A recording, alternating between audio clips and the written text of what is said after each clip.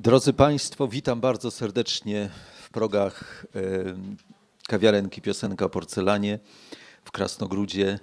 Timothy Snyder jest z nami. Przywitajmy go bardzo serdecznie. Mhm. Mhm. A temat naszego spotkania Ukraina, zerwany most. E, tego lata dużo rozmawiamy na naszym pograniczu o zerwanych mostach. Dużo jest w tym współczesnym świecie zerwanych mostów. Mieliśmy tutaj spotkanie e, z Meronem Benvenisti o Jerozolimie jako mieście, mieście zerwanego mostu. Byłem wiceburmistrzu Jerozolimy. E, mieliśmy niedawno spotkanie z Izabelą Cywińską o Polsce zerwanego mostu, a dzisiaj będziemy mówili o Ukrainie zerwanego mostu. Nie jest to pierwsze spotkanie z Timothy Snyderem e, w naszej kawiarence i tutaj na pograniczu to już jest tradycja, że kontynuujemy tą e, rozmowę i debatę e, wspólnie z, z, jego udziałem tutaj, która się zaczęła chyba od tego, jak wydaliśmy jego książkę o rekonstrukcji narodów Litwie, Białorusi, Ukrainie i Polsce. I chciałbym bardzo, żeby, mm, e, żebyśmy rozpoczęli e, tą rozmowę dzisiaj e, z Timothy od tego, co może się najbardziej aktualnie dzisiaj w Ukrainie dzieje, od takiego zbliżenia do sytuacji tu i teraz. Tim jest takim historykiem z Uniwersytetu Wiel, czyli niby daleko za oceanem, który jednak e, nieustannie podróżuje i to zwłaszcza na Ukrainę w ostatnim czasie. E, w ostatnich miesiącach bywał w różnych miejscach na Ukrainie e, i to zwłaszcza tej wschodniej mm, Ukrainie. Jest, poza tym, że jest historykiem, już stał się takim publicznym intelektualistą zaangażowanym właśnie przede wszystkim w sprawy związane e, współcześnie z Europą Wschodnią e, i z Ukrainą przede wszystkim. Był chyba do tego też dodatkowy powód, e, żeby, żeby on w, ostatnim, w ostatnich tygodniach przyjechał na Ukrainę, bardzo szczególny, bo ukazała się wreszcie po rosyjsku rosyjskie wydanie książki Skrwawione ziemie, Europa między Hitlerem a Stalinem. Y, ta historia, y, no żeśmy w zeszłym roku o tym mówili, że ta książka nie może się w Rosji ukazać, jakieś wydawnictwo wykupiło do niej prawa, ale nie wydaje tej książki i tak się stało, że y, to kijowskie wydawnictwo młode, Dulibi, wydało właśnie w czerwcu książkę po rosyjsku, dostępną bezpłatnie w internecie, można ją sobie ściągać. Troszkę podobnie jak zrobiliśmy z sąsiadami Jana Tomasza Grossa. Pamiętasz, żeśmy włożyli tą książkę od razu e, bezpłatnie do, e, do internetu i każdy mógł z niej e, korzystać. Tak jest teraz ze skrwawionymi ziemiami w języku rosyjskim. Więc zaczynając tą rozmowę, Timie, chciałbym, żebyś nam dał taki może raport y, z tych Twoich ostatnich podróży i z tego spojrzenia na Ukrainę y, tu i teraz, bo bywałeś i w Dniepropietrowsku, i w Charkowie, i w Kijowie. Jak to wygląda dzisiaj z Twojej perspektywy? Więc w, Kijowie ma się wrażenie, że y, czekano na jakieś zderzenie, na jakiś konflikt, ale że akurat ten, że akurat, um, że akurat stracano Krym, że akurat jest, jest wojna właściwie bez końca w Donbasie, na Donbasie, bo ta wojna się toczy dalej i będzie moim zdaniem się jeszcze długo toczyć, że akurat ten konflikt od strony Rosji to jest coś nowego. I to ma i nieoczekiwanego przez, przez ludzi w ogóle, przez ludzi, którzy robili Majdan, przez ludzi, którzy byli obojętni albo nawet przeciw, że akurat taki cios mógł wpaść ze strony Rosji i że akurat można żyć w takim świecie, gdzie jest wojna, że ta wojna nie ma końca, że ludzi, końcu, że ludzie ciągle umierają, cierpią, że, są, że jest tak dużo um, jest tak dużo ludzi bezdomnych z Donbasu, szukających właśnie miejsca albo w Krakowie, albo w Kijowie, albo w Lwowie. To, ta, taka rzeczywistość jest, jest nam obca i, i jest im teraz codzienna i one się borykają z tym. Ale moim zdaniem wrażenie w, w Kijowie są raczej, są miasta, są miasta, są ludzi, którzy są w nastroju melancholijnym, ale nie fatalistycznym. To znaczy, to, to, nie jest, to nie jest naród, który się teraz rozpadnie.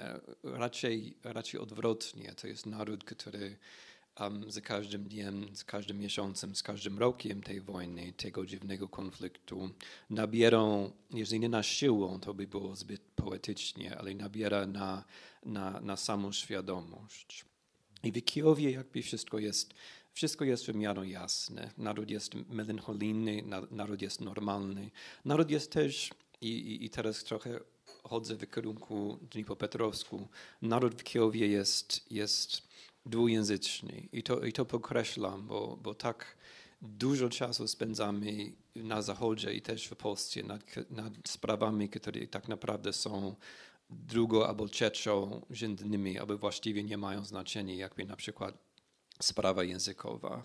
Trudno sobie wyobrazić oczywiście, jakby w Nowym Jorku albo w Warszawie mógł, um, można by było na przykład zamówić kolację albo poprosić o gazetę dwoma językami, ale tak po prostu jest, taka jest taka rzeczywistość. Miałem, miałem przyjemność po raz drugi być w, w jakimś talk show ukraińskim, gdzie, gdzie oni mówią całymi trzema, trzema, trzema godzinami po ukraińsku i po rosyjsku to jest trochę tak jak rozmowa z Krzyszem normalnie, bo choć to jest telewizja, nie ma formalnego końca. To znaczy ten, który prowadzi, może, może tak długo jak chce. A, więc ja miałem okazję po prostu to się skupić i, i, i słuchać rozmowy, jak, jak oni zmienili z języka na, z języka na język. I to jest po prostu normalne. To jest po prostu to jest, normalne. To jest część jakby kultury. Jeżeli tak. zwracasz się do osoby, która, która wiesz, że jest rosyjskojęzyczna, to jakby używasz rosyjskiego. Tak. Jeżeli do ukraińskojęzycznej zmieniasz, przechodzisz na ukraiński. Tak? To, jest, to jest kinderstube mm. ukraińskie mm. i to jest ciekawe, bo oni są, to znaczy oni są grzeczniejsi od nas. I to jest ciekawe, bo mało, mało jest wśród nas, którzy są w stanie po prostu zmienić język w taki sposób. W, w Stany są poniekąd też społeczeństwo dwujęzykowe, ale to nie jest tak, że, że statystyczny Amerykanin um, przechodzi na hiszpański, nie? To, to się po mhm. prostu nie zdarzy. I, i, i, I to jest ciekawe, bo właściwie w Europie chwalimy się, chwalamy się, że jesteśmy taki tolerantni i, i multikulturowi i tak dalej. Ale właściwie nie ma takiej stolicy w Europie. Nie ma, nie ma takiej. Um, mm. Bruk Bruksela tak nie jest, nawet Bern w Szwajcarii. Nie ma po prostu Barcelona może tak, mm. ale to nie jest stolica. Nie ma takiego miasta, miasta tak naprawdę europejskiego, który jest dwujęzyczny, tak jak Kijów jest. Ale Więc ten, ten tak. talk show, wolność słowa, tak. prawda, dla rzeczywiście milionowej y, widowni, późno w nocy się toczący, miał swoje pytanie, które brzmiało chyba, czy ta propaganda rosyjska doprowadzi do III wojny światowej. I jednak odpowiedź respondentów czy ludzi była w olbrzymiej większości chyba na tak, tak? czyli jakiś niepokój nadchodzącej dużego globalnego konfliktu musi tam istnieć.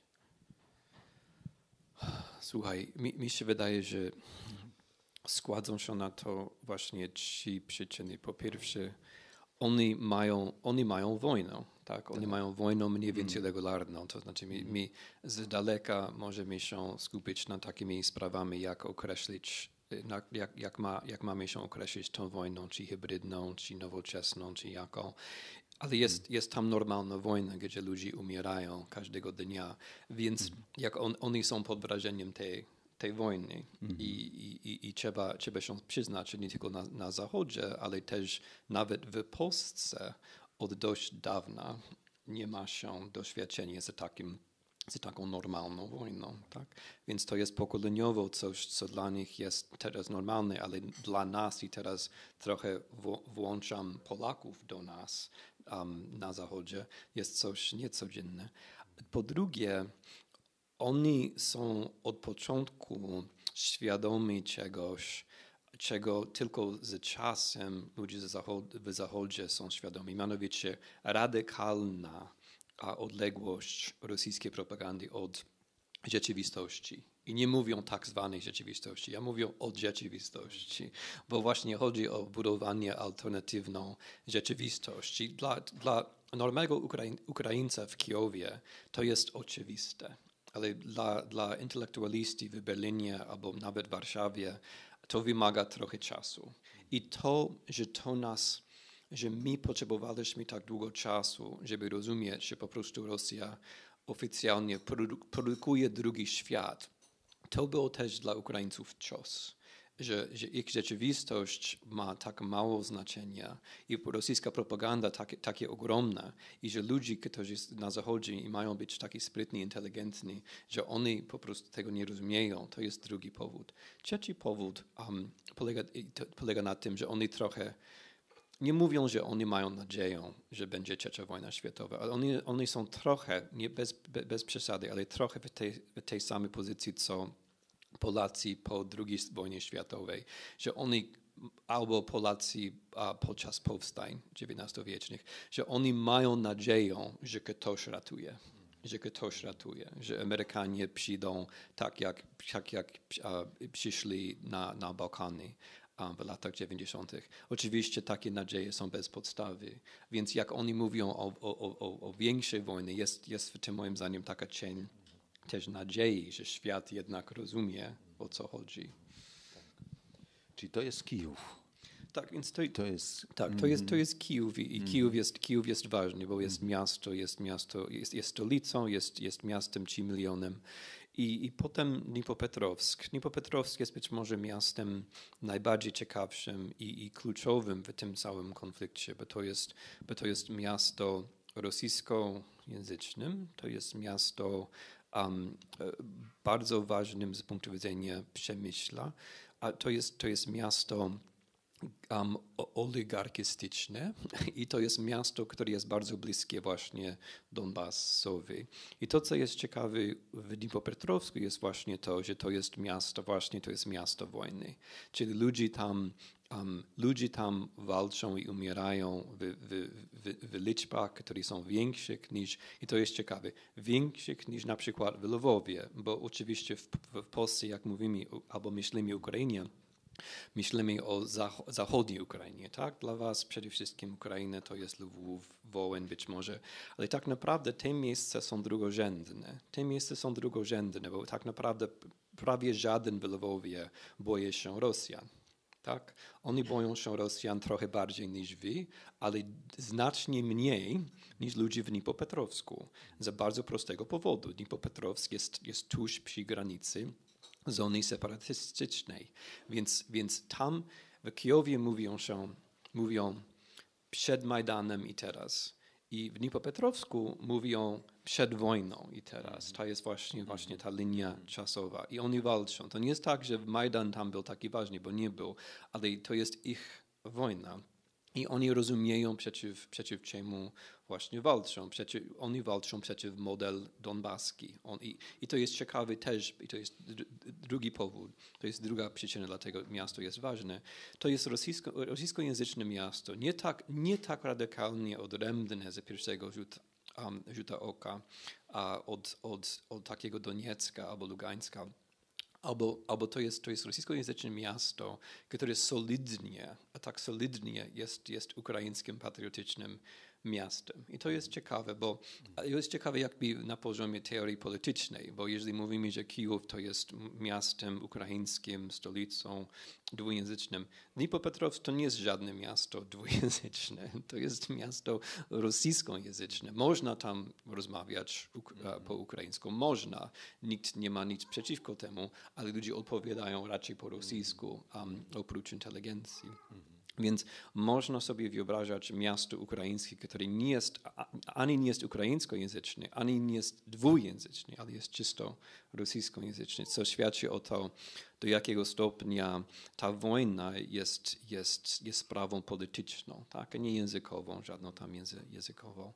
I w Dnipropetrowsku więc nastrój są właśnie takie, takie takiej pewności siebie, że my mamy rację, nie mamy wszystkiego, nie mamy bogactwa, nie mamy reform, nie mamy, nie mamy dzierżawy, bo to, bo to wszystko jest w rękach właściwie um, to, obywatelstwa, społeczeństwa. To wszystko jest w rękach ludzi konkretnych, więc jak, jak, jak, jak szukasz tropu działalności nawet wojennej, um, to, to znajdziesz ludzi i organizacje społeczne. Nie, nie państwa. Jeżeli w ogóle państwo, to państwo na, na poziomie właśnie tej, tej oblasti um, Dnipropetrowskiej. Więc Dnipropetrowsk jest, jest ciekawy pod tym względem. Też pod, tym, pod względem historycznej pamięci, bo Dnipropetrowsk razem z Kijowem jest, jest, to jest drugie miasto w Ukrainie żydowskie. I właśnie, właśnie wspólnota żydowska tam buduje swoje muzeum i swoje centrum studiów żydowskich i Holokaustu, co jest ciekawe, bo jak, się, jak, się myśl, jak myśli się o, o, o miejscach, gdzie na przykład Holokaust jest głównym symbolem, to się nie myśli o, po pierwsze o, o wschodniej Ukrainie, ale jednak muzeum tam jest bardzo imponujące. To można, tak. Tak, no to znaczy sam budynek jest, jest ogromny, może nawet bez smaku, um, a, i, i, i, ale właśnie chodziło o to, żeby pokazać, że to jest miasto multikulturowe, nie, nie multijęzyczne, ale multikulturowe. Że olbrzymi budynek składający się jak menora z siedmiu po prostu takich wieżowców czy budynków różnej wysokości, tak.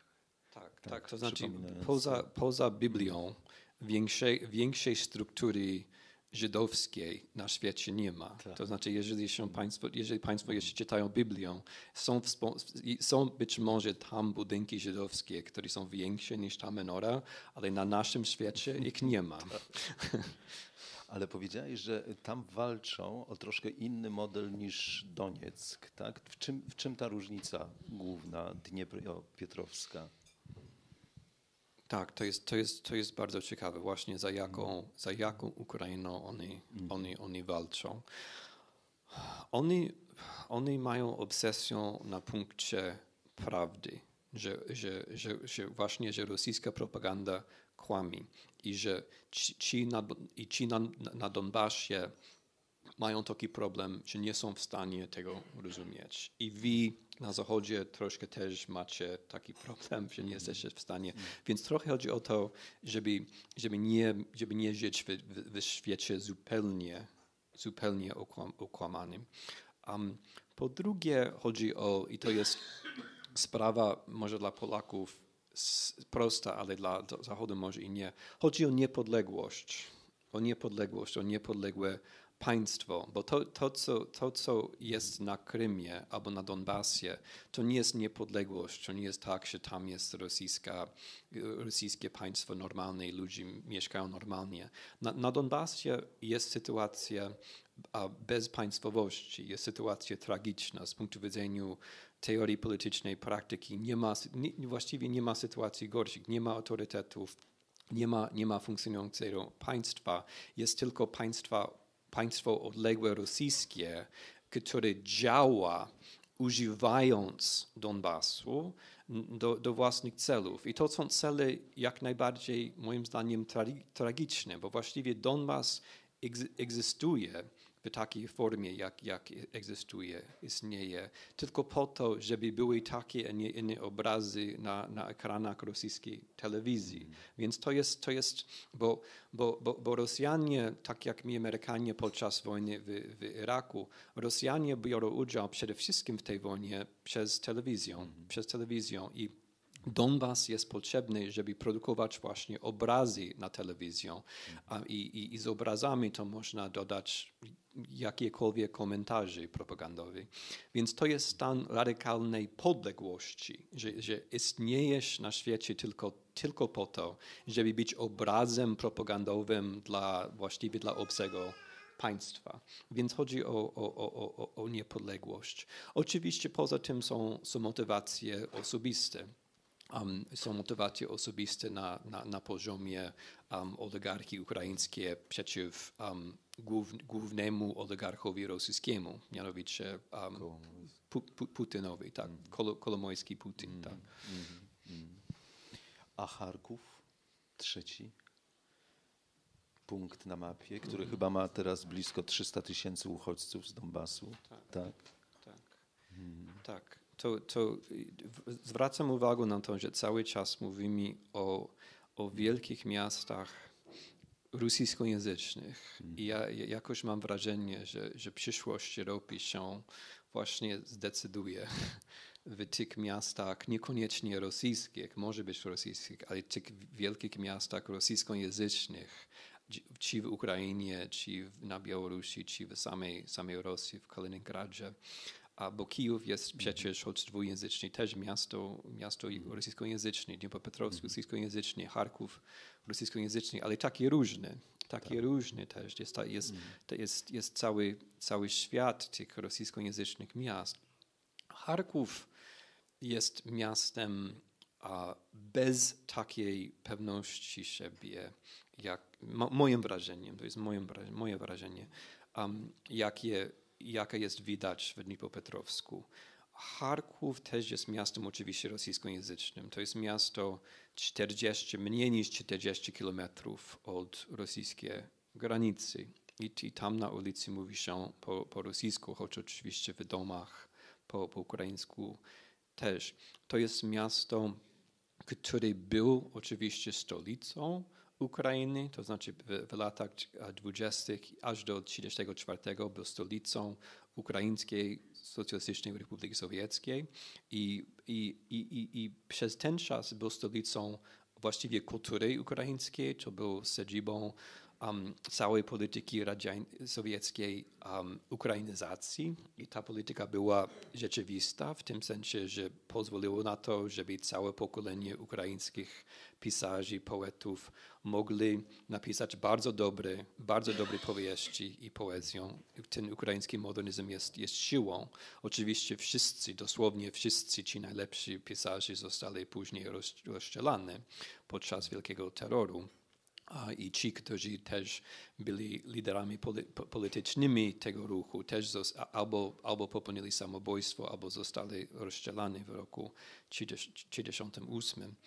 Um, ale w każdym razie Charków ma za sobą, chodzi mi o to, że ma za sobą przeszłość taką wyraźną ukraińską. Mm. Jest, jest taki pisarz um, charkowski, uh, był filolog, wielki filolog, um, uh, Yuri Szeweliow, a który jest pochodzeniem, pochodzenia oczywiście rosyjsko-niemieckiego, ale mm -hmm. to jest wielki ukraiński filolog, który um, wyrastał właśnie podczas tego pokolenia ukrainizacja i który opisał bardzo piękny esej o, o tym Charkowie, o trzecim Charkowie. Po Charku, jest Charków kozacki, jest Charków prowincjonalny, rosyjski, rosyjski, carski i potem jest Charków ukraiński, mm -hmm. taki Charków kulturowy, Charków kultury ukraińskiej. Z wielkim uniwersytetem. Tak, tak, tak. Gdzie tak. pamiętają Piłsudskiego, który tam studiował. Tak, to prawda, to tak. prawda, tak, Piłsudski tam mhm. studiował. Mm -hmm. I, i, i -hmm. potem jest czwarty Charków, mm. to znaczy ten sowiecki.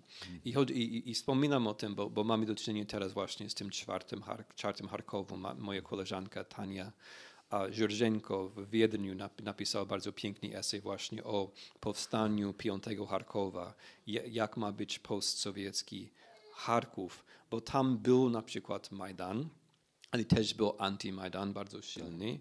Doszło do starć, gdzie anti-Majdan um, fizycznymi środkami upokorzył Majdan, między innymi poeta, wielki poet moim zdaniem, um, Serhii Żadan został atakowany. Um, i, i, i, więc, jest, i, więc są dwie tradycje, które są obie obecne, no, bo, bo, bo Lenin na przykład był um, aż do września, ale od września go już, już nie ma, już nie ma tak? Lenina. Tak, od września już go nie ma. Tam tak. I z, z tymi mm. Leninami to jest bardzo ciekawe, bo można, mm. można pytać, można stwierdzić, że nie powinien być Lenin w, w ukraińskim mieście, ale, ale jakiego konkretnego dnia trzeba obalić właśnie. Jakie, to jest trudne, ale jak, jak już obalono, jak już Lenina nie ma, to jest jasne, że chyba jest jasne, oby, że nie ma, oby, ob, obym się nie pomylił, że, że ktoś jeszcze nie buduje. Tak? Nie, nie jest, jak już go nie ma, to nie, nie będzie drugi Lenin. W każdym razie nie ma, nie ma Lenina.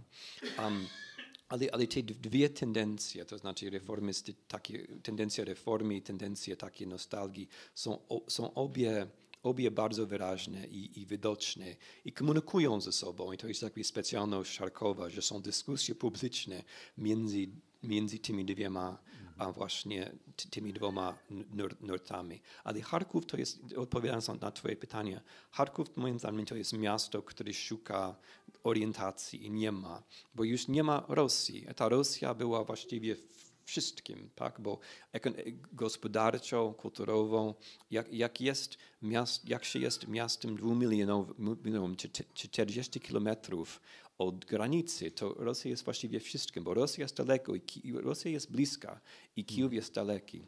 I, I Charków zawsze też był um, bramą do, na Donbas. I teraz tego Donbasu też nie ma. Więc Charków jest samiutki, Charków jest sam i Kijów jest jeszcze daleki. Więc oni szukają czegoś i jeszcze nie, nie wiedzą, jaka ma być orientacja, jaka ma być przyszłość.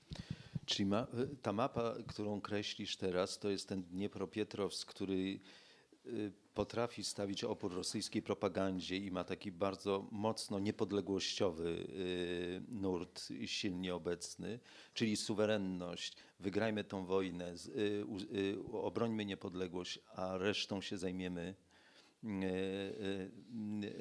dalej.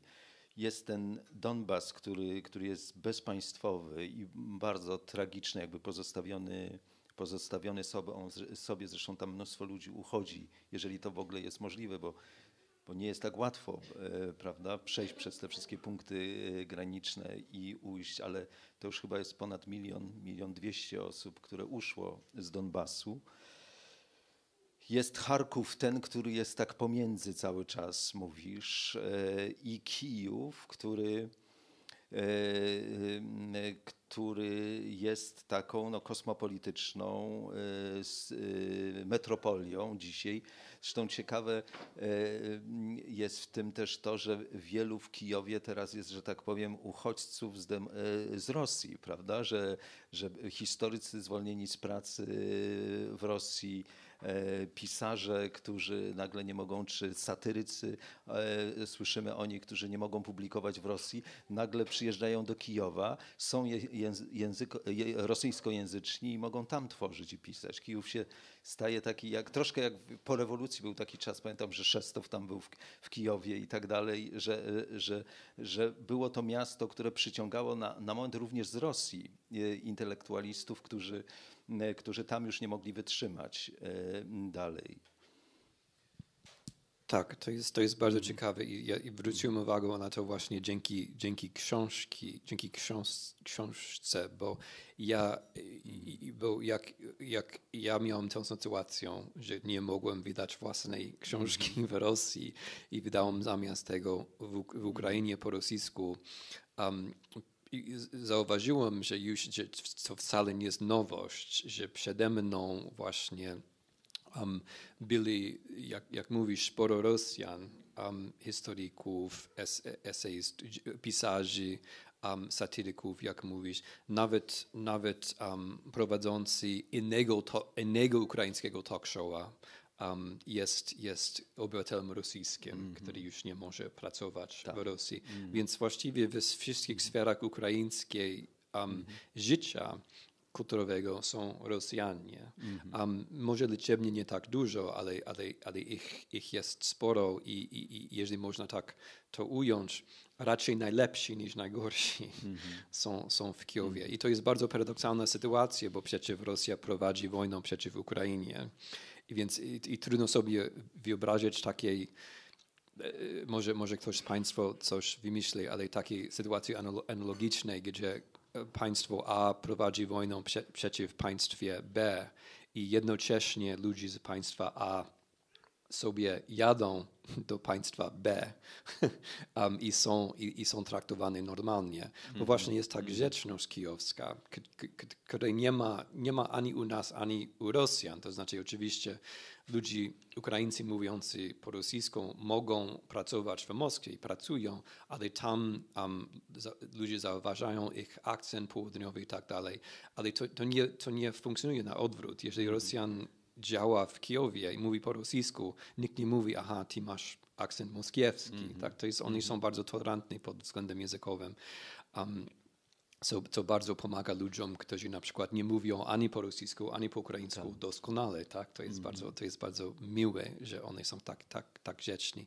I, I więc to jest sytuacja interesująca, bo jest taka fantazja u, i, i, i, i mówi o tym po prostu, żeby podkreślić jak, jak interesująca jest sytuacja. Jest taka fantazja u niektórych rosyjskich liberałów, że właśnie Charków, um, Kijów to, to jest przyszłość rosyjskiej kultury. Że właśnie w tych miastach musimy ratować rosyjską kulturą, bo u nas już jest fatalnie. Mm -hmm. tak? I, i, i, I się wyrazić w taki sposób w obecności Ukraińców jest trochę dziwnie, choć to, to też się, sta, to też się zdarza. Timie, więc y, teraz nakładając na tą mapę i na stan rzeczywisty tego, co się dzieje w Ukrainie, mówimy o zerwanym moście. I oczywiście tych mostów wobec Ukrainy zerwanych może być wiele. Może być między Ukrainą a Europą, e, Rosją. Natomiast jest coś takiego w samej Ukrainie, co sprawia, czy budzi cały czas niepokój, czy różne spekulacje e, odnośnie przyszłości Ukrainy, które bardzo często odwołują się do tego modelu no, rozpadu tego kraju, że e, ta główna granica między wschodem i zachodem, prawda, ale ale pojawiają się też e, takie scenariusze, prawda, różnych szaleńców typu Żyrenowskiego, prawda, że Polsce oddamy Galicję, Węgrom Zakarpacie, Rumunii e, Bukowinę, e, a tak zwaną Noworosję przyłączymy do Rosji. Ale jest, to, to są jakby zewnętrzne głosy, ale jest cały czas, chcę, żebyś do tego się odniósł. Jak to w ogóle z wewnętrznej ukraińskiej perspektywy może wygląda? Jest ten cały czas niepokój o całość tego kraju, prawda? I e, e, o jego organiczną, jego organiczne istnienie, istnienie. Jak wrogowie, mówi się, że Putin i Rosja no, nie, nie mają jakby takiego zamiaru y, przyłączenia całej Ukrainy, ale że gdzieś w w, w, gruncie tej polityki jest to, żeby to prowadzić do, do, do, rozpadu, prawda? Być może e, pierwszym takim aktem, teraz niedawno się ukazała książka byłego prezydenta Ukrainy Kuczmy, który odnosi się do tej idei federalizmu, bo to jest też coś takiego, co się podpowiada, prawda? Z, e, zwłaszcza ze strony rosyjskiej, Rosji, że, że Ukraina powinna być sfederalizowana, to znaczy autonomia regionów duża. Kuczma pisze, że to jest początek końca, to jest początek rozpadu e, Ukrainy, jeżeli, jeżeli się y, przyjmie tą koncepcję federalizacji. Czyli taka groźba cały czas gdzieś istnieje. Jak ty to widzisz i jak to może z wnętrza samej Ukrainy y, wygląda? To znaczy nie, nie chcę utożsamiać, co to ja myślę z tym, co Ukraińcy myślą, ale mi się wydaje, że raczej w Ukrainie samej dominuje polityczna analiza i, i, i u nas um, jest silniejsza i Rosjan też, bo, bo często z Rosjanami nie, nie chcąc albo nie myśląc o tym mówimy wspólnym językiem o Ukrainie, dominuje analiza e, natury etnicznej. Um, mi się wydaje, i, i, chyba to już przekazałem, ale mi się wydaje, że ta analiza etniczna albo językowa nie ma znaczenia, że jest sztuczna, że, że że są podziały w Ukrainie, ale one nie mają nic wspólnego z językiem ani z kulturą. Mają dużo wspólnego z polityką i z, z, polityką na poziomie indywidualnych wyborów, też na poziomie oligarchii tego kraju i to jest temat, do którego jeszcze, jeszcze zwró zwrócimy. Ale i tak Um, więc zwracam uwagę na to, jak, jak ta dyskusja się zmieniła, bo zgadzam się z Tobą, że to jest ważna, ważne pytanie, ale rok temu wszyscy zapytali, jaki będzie rozpad tego kraju, tak? Jaki będzie rozpad? I, i, i, i na wszystkich, we wszystkich mediach, włącznie z polskimi niestety, były te karty Ukrainy z taką linią um, wzdłuż, um, wzdłuż Dnipru.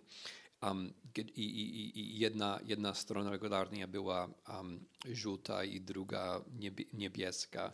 I właśnie założenie było takie, że są dwie Ukrainy, tak? Dwie Ukrainy i będzie rozpad.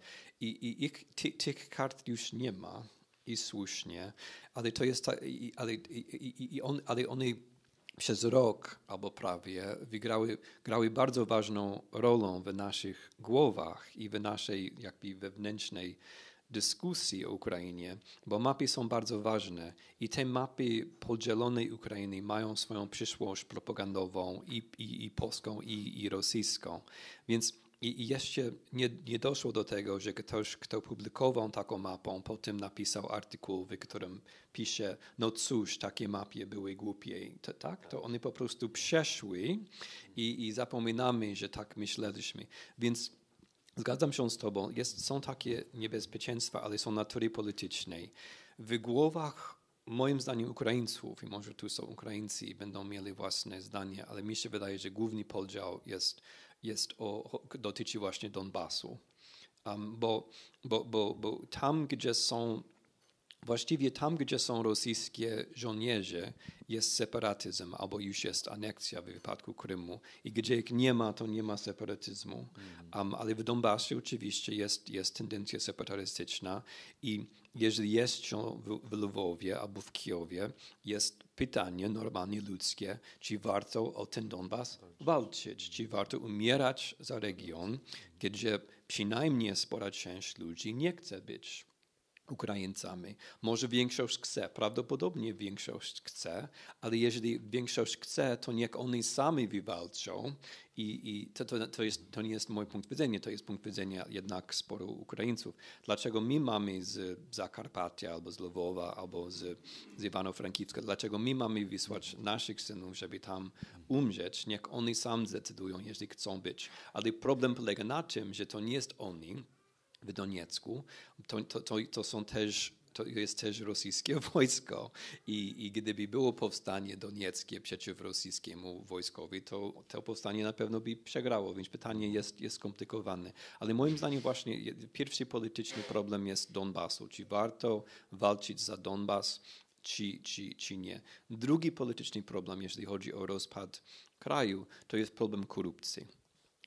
Właściwie wszyscy rozumieją to, od najmniejszego podsekretarza stanu amerykańskiego, um, amerykańskiej um, ambasady do, do najwyższych szczytów ukraińskiej państwowości. Wszyscy rozumieją, że głównym problemem tego kraju jest, jest korupcja i że trzeba, i, i właśnie o to na Majdanie chodziło. Nie chodziło o, o, o, nas, nie chodziło o Zachód, nie chodziło o Rosję, chodziło o korupcję ukraińską. Tak. ukraińską. To był ten główny problem i oni mieli rację, to jest główny problem tego kraju.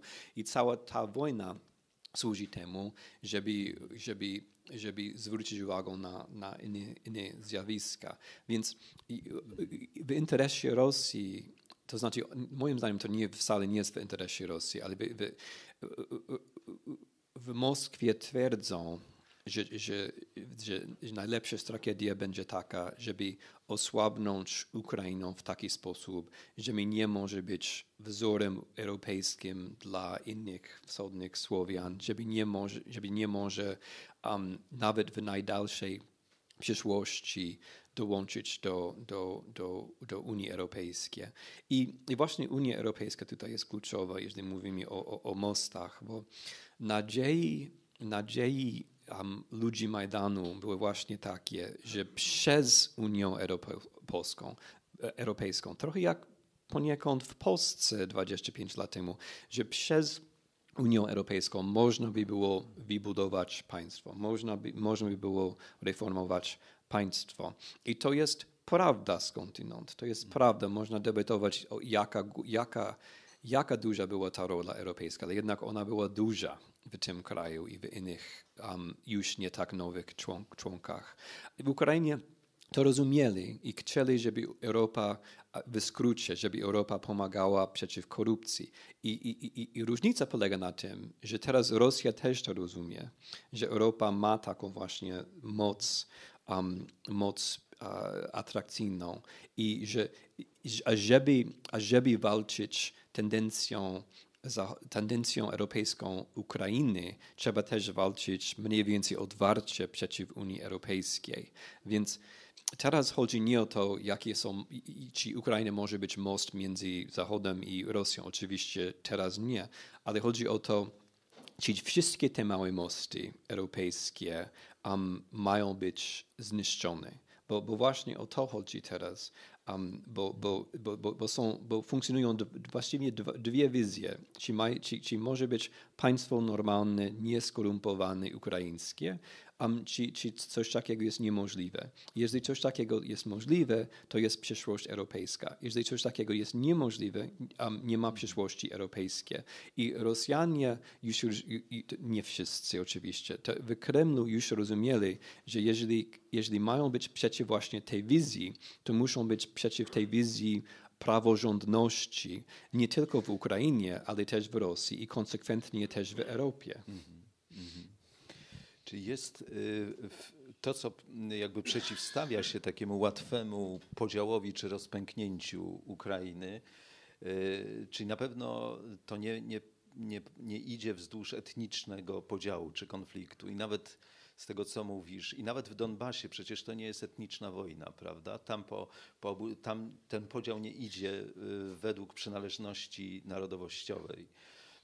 Z tego, co powiedziałeś wcześniej o Dniepropietrowsku, to tam e, też to się mocno kłóci z tą mapą, że wschód jest takiego zdania, prawda, a, a zachód e, Ukrainy że na wschodzie jest silny region, który jest mocno za niepodległością e, i tak dalej. Więc je, ale jest ta sfera kulturowa, o której mówiłeś, czy polityczna.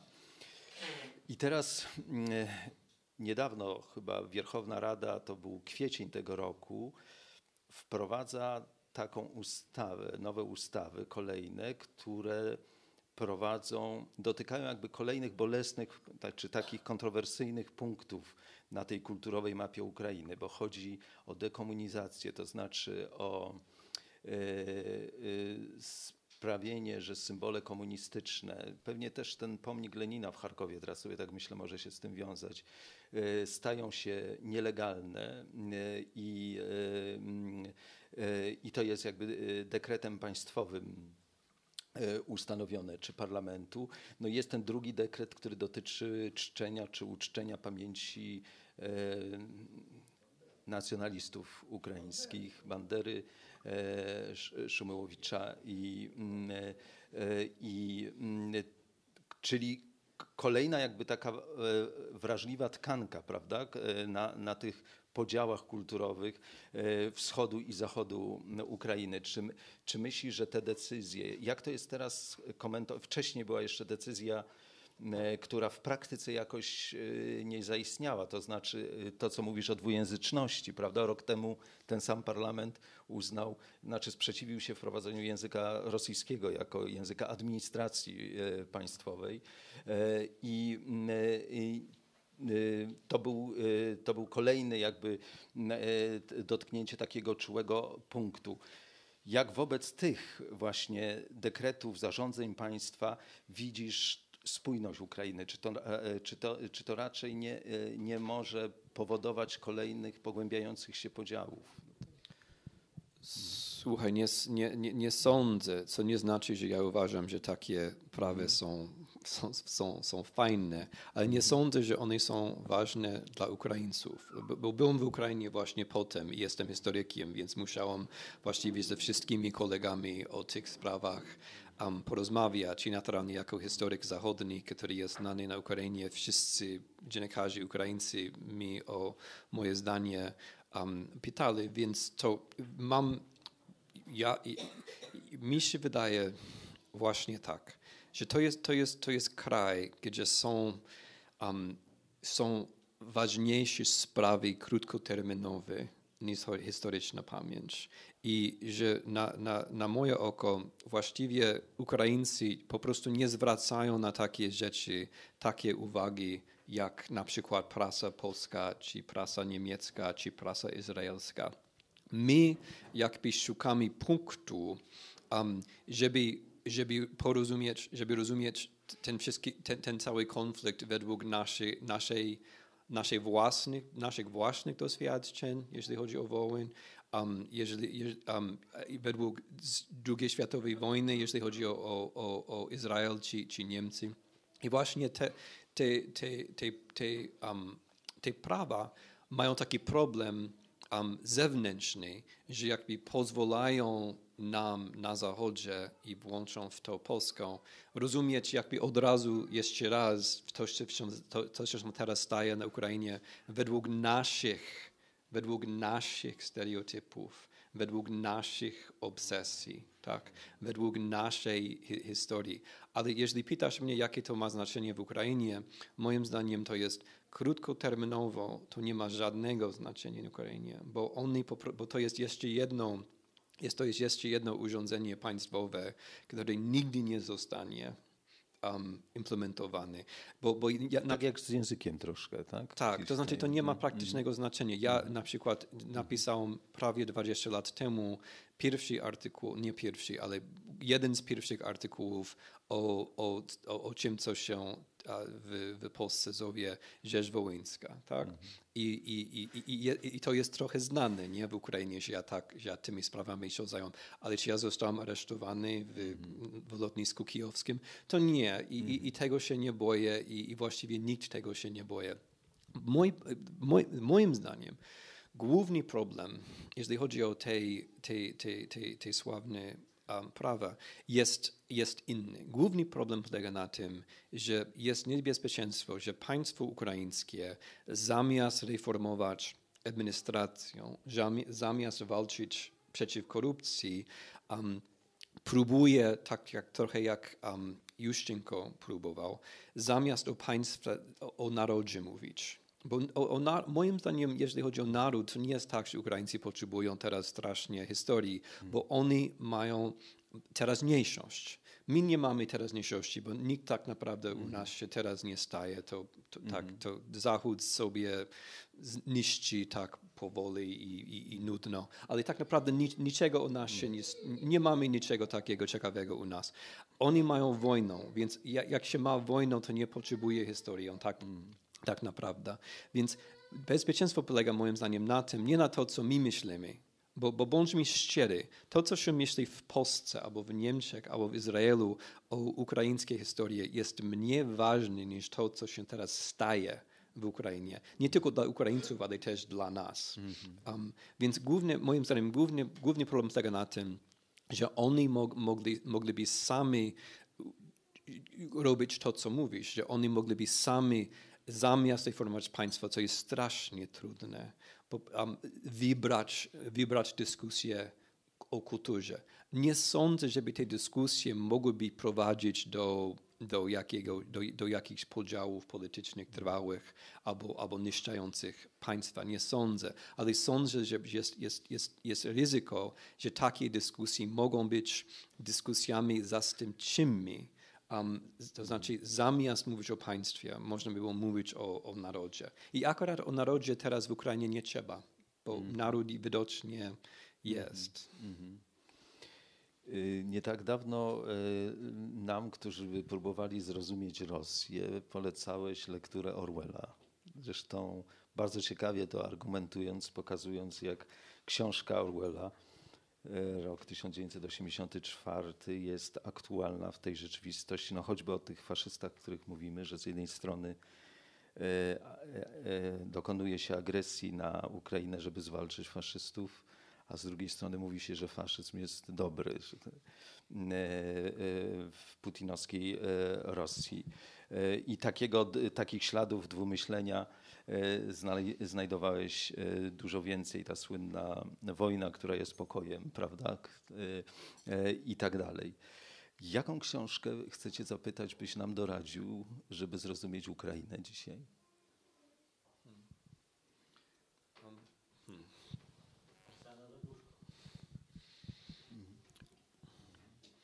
Mm-hmm. Jeżeli, jeżeli, jeżeli czytacie przy, przy całym szacunku do Oksany Zabuszki, um, to, to jest Ukraina, która wam jest raczej znana. To jest Ukraina, która szuka ich, swoich korzeni w historii zachodniej U- U- Ukrainy. I, I to, co jest dla was, to znaczy dla, dla, dla Zachodu jako takiego, to co jest obce i nowe, jest, jest istnienie Ukrainy jako takiej. Dla, dla was wariant, moim zdaniem, może wszyscy teraz będą buntować, ale dla was sytuacja jest inna, bo, bo, bo, bo wy uważacie, że znacie jednak Ukrainą, bo tam jest, bo, bo, bo oczywiście Ukraina jest część, częścią integralną polskiej historii i, i w, nawet w, w historii międzywojennej Polski jest, jest Galicja i Wołyń. Um, i, i, i oczywiście te wi, wi, wi, wojenne. Ale jednak to, co jest teraz kluczowe w Ukrainie, nie ma nic wspólnego z Galicją. Nie ma nic wspólnego z Galicją. Galicja jest, to znaczy epoka Galicja już minęła tak naprawdę, minęła. Um, to znaczy ja bardzo lubię Galicję, bardzo lubię Lwów. Uważam, że na przykład instytucje tam są bardzo ważne. Ukraiński katolicki, Ukraiński katolicki Uniwersytet na przykład jest bardzo, bardzo ważną uczelnią na skalę całe, całego kraju. Ale historia, historia ukraińska teraz się toczy nie w Lwowie i nawet i, i, i, raczej w Kijowie i w Dnipropetrowsku i w Charkowie i w Moskwie. A, i, i, więc um, nie wiem, jak, ja mam ostatnio, to nie jest być może dobrej, dobrą odpowiedzią na, na, na, na twoje pytanie, ale obses, obsesją mam ostatnio um, o, o, o, o, o Giedroyciu. Bo mi, mi się wydaje, że to jest też trochę a, a, a propos tych, tych, tych praw, które oczywiście osobiście uważam są głupie, tak? żeby, żeby to było jasne. Ale Giedroyć um, był w stanie, i to jest bardzo ważne, odrębnić bieżące, bieżące sprawy pamięci od jakby stałych kwestii interesu państwowego. I to, to Polsce bardzo pomagało, bardzo pomagało, bo nie tylko, że był Giedroyć i Miroszewski, ale był taki czas Solidarności i Solidarność stworzyła ramy, w których można było dyskutować właśnie interesy państwowe, takie długotrwałe. Ani w Ukrainie, ani w Rosji nie ma takiego Giedroycia, ale też nie ma, nie ma takiego momentu długiej dyskusji o interesach. Więc jak się mówi teraz o interesach rosyjskich, to, ja, to jest, jest mi po prostu smutno, bo te interesy rosyjskie zmieniają z, z, z, z, dnia na dzień. I to co, to, co liderzy rosyjscy mówią o interesach, jest, jest zawsze, moim zdaniem, um, właśnie przeciw interesom długotrwałym rosyjskim, ale oczywiście żaden Amerykanin nie może tak powiedzieć z powodzeniem, ale moim zdaniem tak jest. I Ukraińcy też nie mieli jeszcze okazję na taką dyskusję. Moim zdaniem to się właśnie zaczyna teraz. Oni mają, to, to jest jakby moment teraz solidarności, albo jak, jak kto woli, stanu wojennego. Oni są na takim etapie, tak? Więc teraz jest czas trochę na, na dyskusję o, o, o przyszłości Ukrainy. Ale więc ja, ja myślę o tym, ale osobiście Giedroycia, bo, bo, bo i fakt, że nie ma, nie ma rosyjskiego Giedroycia, nie ma rosyjskiego Giedroycia, bo on miał rację. Nie tylko, że miał rację co do, co do Polski, że jego, jego analiza, że, że wy też macie swoją, swoje um, a, pretensje imperialne, jeżeli nie polityczne, to, to, to, to kulturowe wobec, wobec wschodu um, i że to jest jakby, to, to, to, to może działać razem z rosyjskimi um, działaniami imperialistycznymi. To, to była bardzo trafna uwaga. I jak, pos, jak polskiego, przepraszam za słowo, ale jak polskiego imperializmu już nie było, i jak Ukraińcom, to jest ważniejsze. Jak Ukraińcom, dzięki na przykład Koroniowi, um, Michnikowi i całej postawie właśnie Solidarności i, i potem dzięki, polityki, dzięki polityce Skubiszewskiego w wcześniejszych latach a, 90., jak Ukraińcom samym było jasne, że nie ma tego polskiego imperializmu, że nie ma tych polskich pretensji, to oni mogli myśleć wyłącznie o Rosji. Ale fakt, i, i, i, ale analiza też była trafna co do Rosji, bo nie było takiego Giedroycia rosyjskiego i teraz Rosjanie robią właściwie wszystko, co według Giedroycia nie powinni. To znaczy, zamiast, zamiast budować normalne państwo rosyjskie, uwaga całego narodu jest przez telewizję teraz um, sfiksowana na taką fikcyjną Ukrainą. I to jest taka tragedia właśnie imperializmu. Taki klasyczny problem imperializmu. Marx już w XIX wieku o tym pisze, tak, że tak można robić. Zamiast, zamiast reformować państwo, robić taką małą wojną, właściwie wojną iluzji, bo, bo, bo ta wojna, która wyjawia się w rosyjskiej wyobraźni, nie jest tą samą wojną, co w Ukrainie. Ja sobie przypominam takie spotkanie, które zorganizował kiedyś, nie tak dawno w Charkowie Jarosław Chrycak, nasz wspólny przyjaciel, którym uczestniczył Sergiej Żadan, którego wspominałeś, które było właśnie poświęcone Giedroyczowi Miłoszowi, takim książkom jak Rodzinna Europa, które, y, których brakuje tam w Charkowie na tym pograniczu, które jakby nie pozwala wielu ludziom odnaleźć się we wspólnej przestrzeni e, e, kulturowej. Powiedziałeś, że, e, że Rosja nie ma swojego Giedroycia, ale czy Ukraina ma swojego Giedroycia? To znaczy, je, je, je- jest, nie, ale je- jest, jeszcze nie, ale młode pokolenie Ukraińców i to jest, je, i to nasza dyskusja nie była, do, do, póki- nie była dokąd taka optymistyczna, a jeżeli ma być optymistyczny punkt, to jest właśnie um, taki o, o, o przyszłości Ukrainy, bo moim zdaniem, jeżeli to państwo przetrwa i jakoś da się reformować, młode pokolenie Ukraińców jest strasznie ciekawe.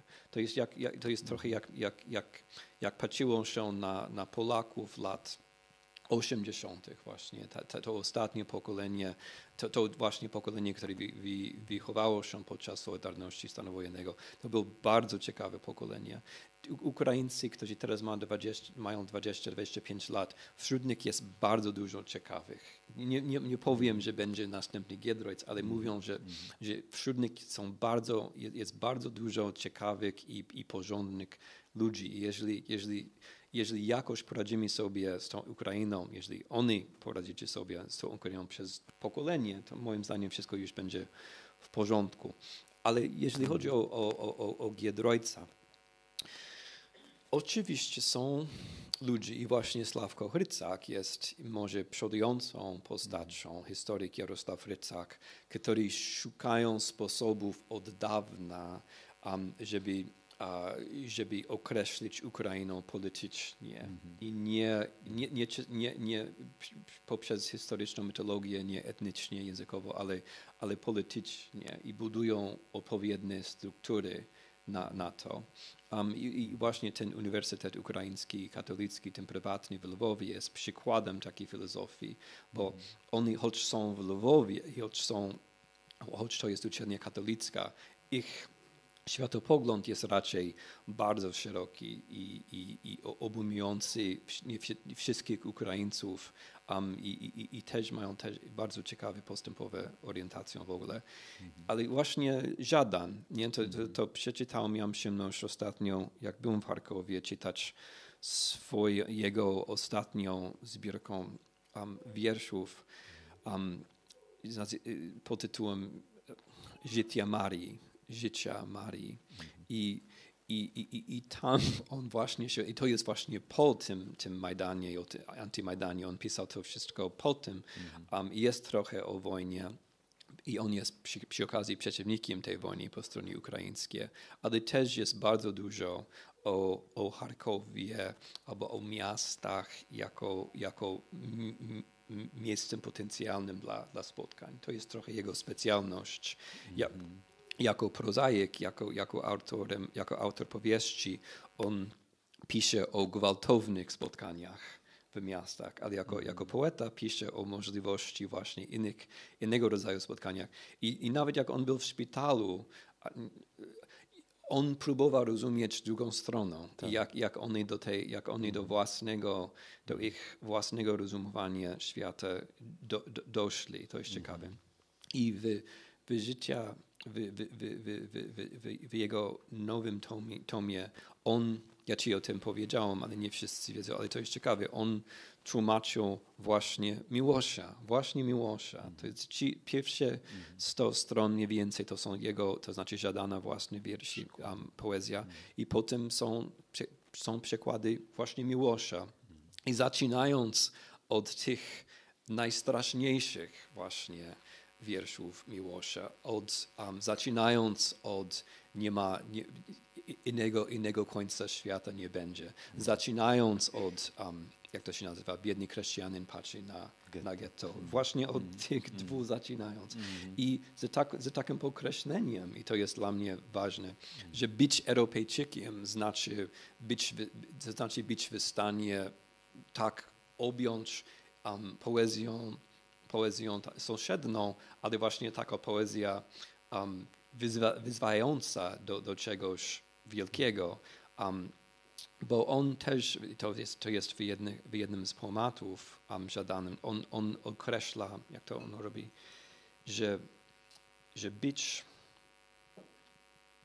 być człowiekiem, być człowiekiem znaczy zawsze wracać do, do na, powrócić się do tyrmu, zwróć, zwracać do obozu koncentracyjnego. Tak? Mm. Więc być Europejczykiem, być człowiekiem, to znaczy nie, że ta przeszłość jest, jest tam. I, mm. I, nie tylko, że to jest, to nie, to nie jest typowa postawa charkowska, powiedziałbym, jeśli mm. chodzi o, o, o, tak. o, przeszłości, bo raczej mm. oni tam mają taką postawę, że jesteśmy ludźmi praktycznymi.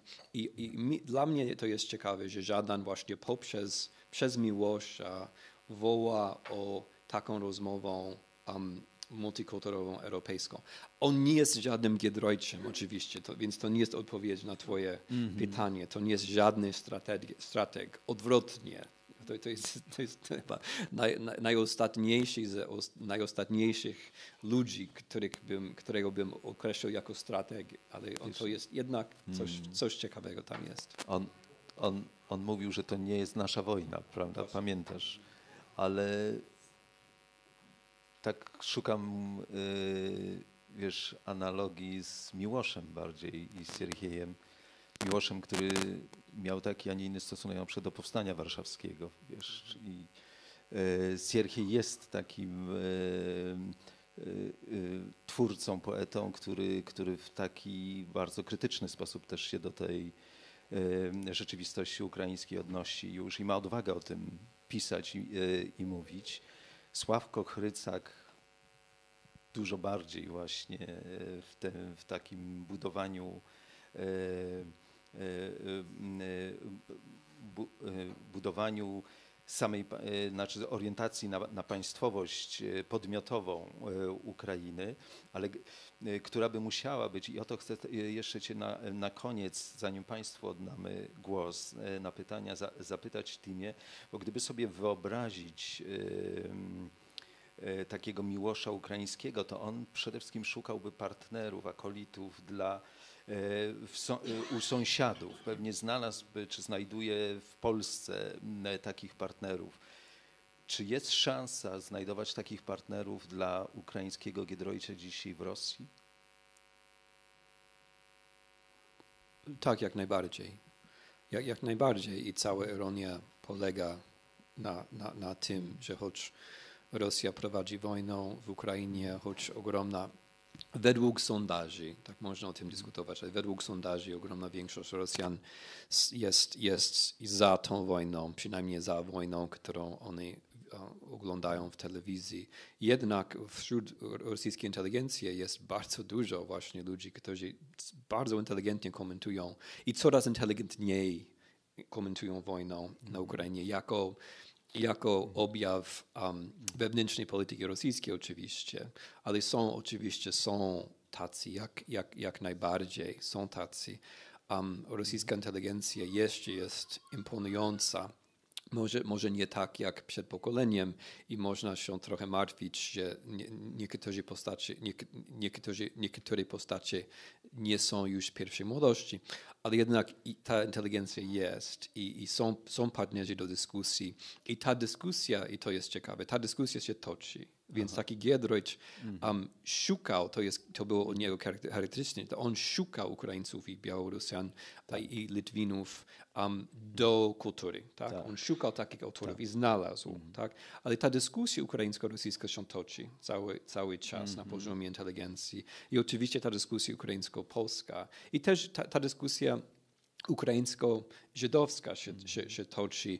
Nie, I to, to, jest trochę inne niż, niż, niż w Polsce, bo tam w Ukrainie jest jednak um, sporo Żydów. Um, to jest wielka różnica. W Kijowie jest, jest ich um, 60 tysięcy, w oblasti Dnipropetrowskiej jest ich 50 tysięcy, więc ta dyskusja nie jest dyskusja jakby ukraińsko-izraelska, to jest dyskusja ukraińsko-żydowska i to jest czymś innym. A właśnie przy okazji mhm. Majdanu i wojny, gdzie, gdzie oficjalna propaganda rosyjska określiła um, wszystko jako, jako um, jako walki antyfaszyzmu z faszyzmem, to była świetna okazja, by, by właśnie takie dyskusje się odbyły i odbywały się i, i, od, i odbywa, odbywały się i od, odbywają się właśnie takie dyskusje. Na, na, na tym właśnie na, na, na tym poziomie sytuacja nie jest beznadziejna.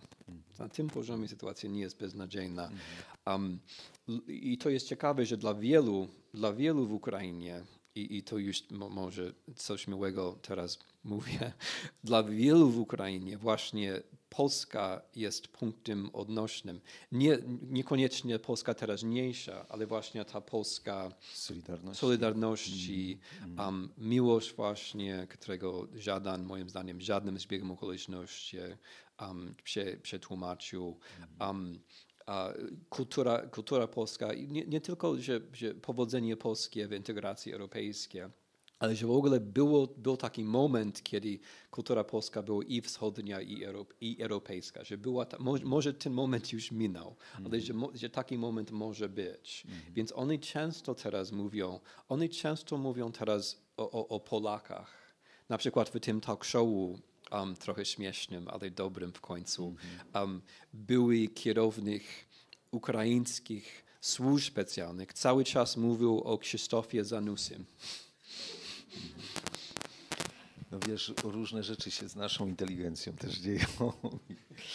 Do mnie niedawno dotarła chyba przez Gazetę Wyborczą taka smutna wieść o Andrzeju Walickim i jego ostatnich, nie wiem czy słyszałeś, wypowiedziach o wielkim filozofie Putinie, a pamiętam, że to był człowiek, który uczestniczył, pamiętasz, w panelu o twojej pierwszej książce, którą wydaliśmy, którego chyba zaprosiliśmy na Uniwersytet Warszawski do debaty razem z Andrzejem Mencfelem, a a nagle Andrzej Walicki y, pojawił się jako taki, który mówi o Putinie jako wielkim filozofie i, i, i, y, i krytykuje Polskę, Unię Europejską i wszystko za prowokowanie Rosji y, i tak dalej. Więc ale nie chcę, nie chcę psuć tego optymistycznego tonu, który się pojawił w końcu naszej e, rozmowy. Drodzy Państwo, jest z nami Timothy Snyder, jest bezcenna, wydaje mi się, jego perspektywa e, na te nasze wzajemne relacje w tej części świata i Europy, właśnie pomiędzy Polakami i Ukraińcami. My mamy polskie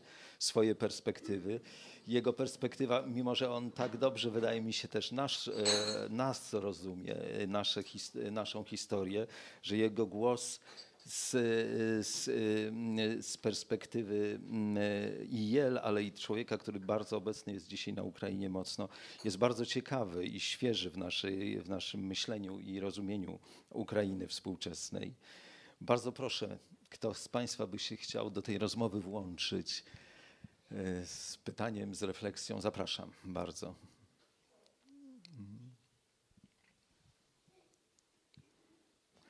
Mamy jeszcze troszkę czasu. Wieczór nas dzisiaj upływa e, w ten sposób, że nie możemy jednak tak jak w tym talk rozmawiać bezgranicznie, bo o 20 e, czeka nas tutaj koncert ABK Mamy, na który Państwa też serdecznie wszystkich zapraszam. No ale mamy jeszcze na pewno troszkę czasu na rozmowę. Bardzo proszę. Ja już po raz drugi biorę udział w tym spotkaniu i za każdym razem takim owocem tego spotkania jest dla mnie y, świadomość, że ważnym takim eterem oddziaływań jest świadomość zbiorowa. i to, że Rosja tak bardzo docenia y, tę, tą przestrzeń y, i że właśnie propaganda jest y, tak bardzo rozbudowana, y, uświadamia mi, że w jakimś sensie y, ta wojna dotyczy też i mnie.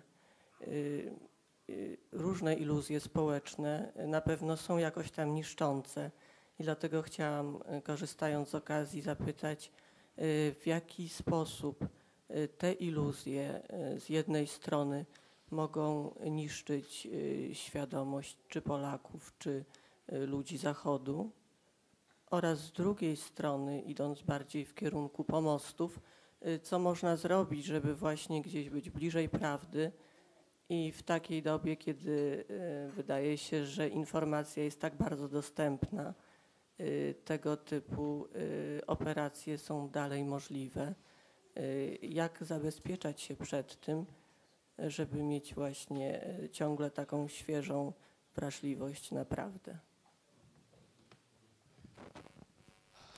No tak, to, to, jest, to, jest, to jest świetne pytanie i, i, i, i żeby odpowiedzieć właściwie, to musiałbym um, napisać książkę. I, i, I właśnie chcę pis, napisać taką książkę, to znaczy nie o Ukrainie, ale jakby, jakby przy okazji Ukrainy, bo mi się wydaje, że pani ma rację, że coś się teraz zdaje na poziomie um, całej naszej właściwie cywilizacji. Um, i, I Ukraina jest tylko jakby najwyrazistym przykładem tego. Mi, mi się wydaje, że, że, że, że, że fundamentalnie nie chodzi o to, czy są faszyści na Majdanie, czy nie. Nie chodzi o to, czy wszyscy Ukraińcy są nacystami, czy nie. Oczywiście nie są, oczywiście nie są. Chodzi raczej o, o, o, o jedną sprawę um, ontologiczną i chodzi o jedną sprawę etyczną. Bo główny nurt rosyjskiego propagandy, rosyjskiej propagandy nie, nie, nie sprowadzi się do tego, czy, um, czy, czy, czy coś faktycznie jest, czy nie. Nie o to chodzi. Chodzi o to, że w ogóle nie ma tego rzeczywistego świata. O to chodzi. To jest, to jest, to jest jakby ich grunt.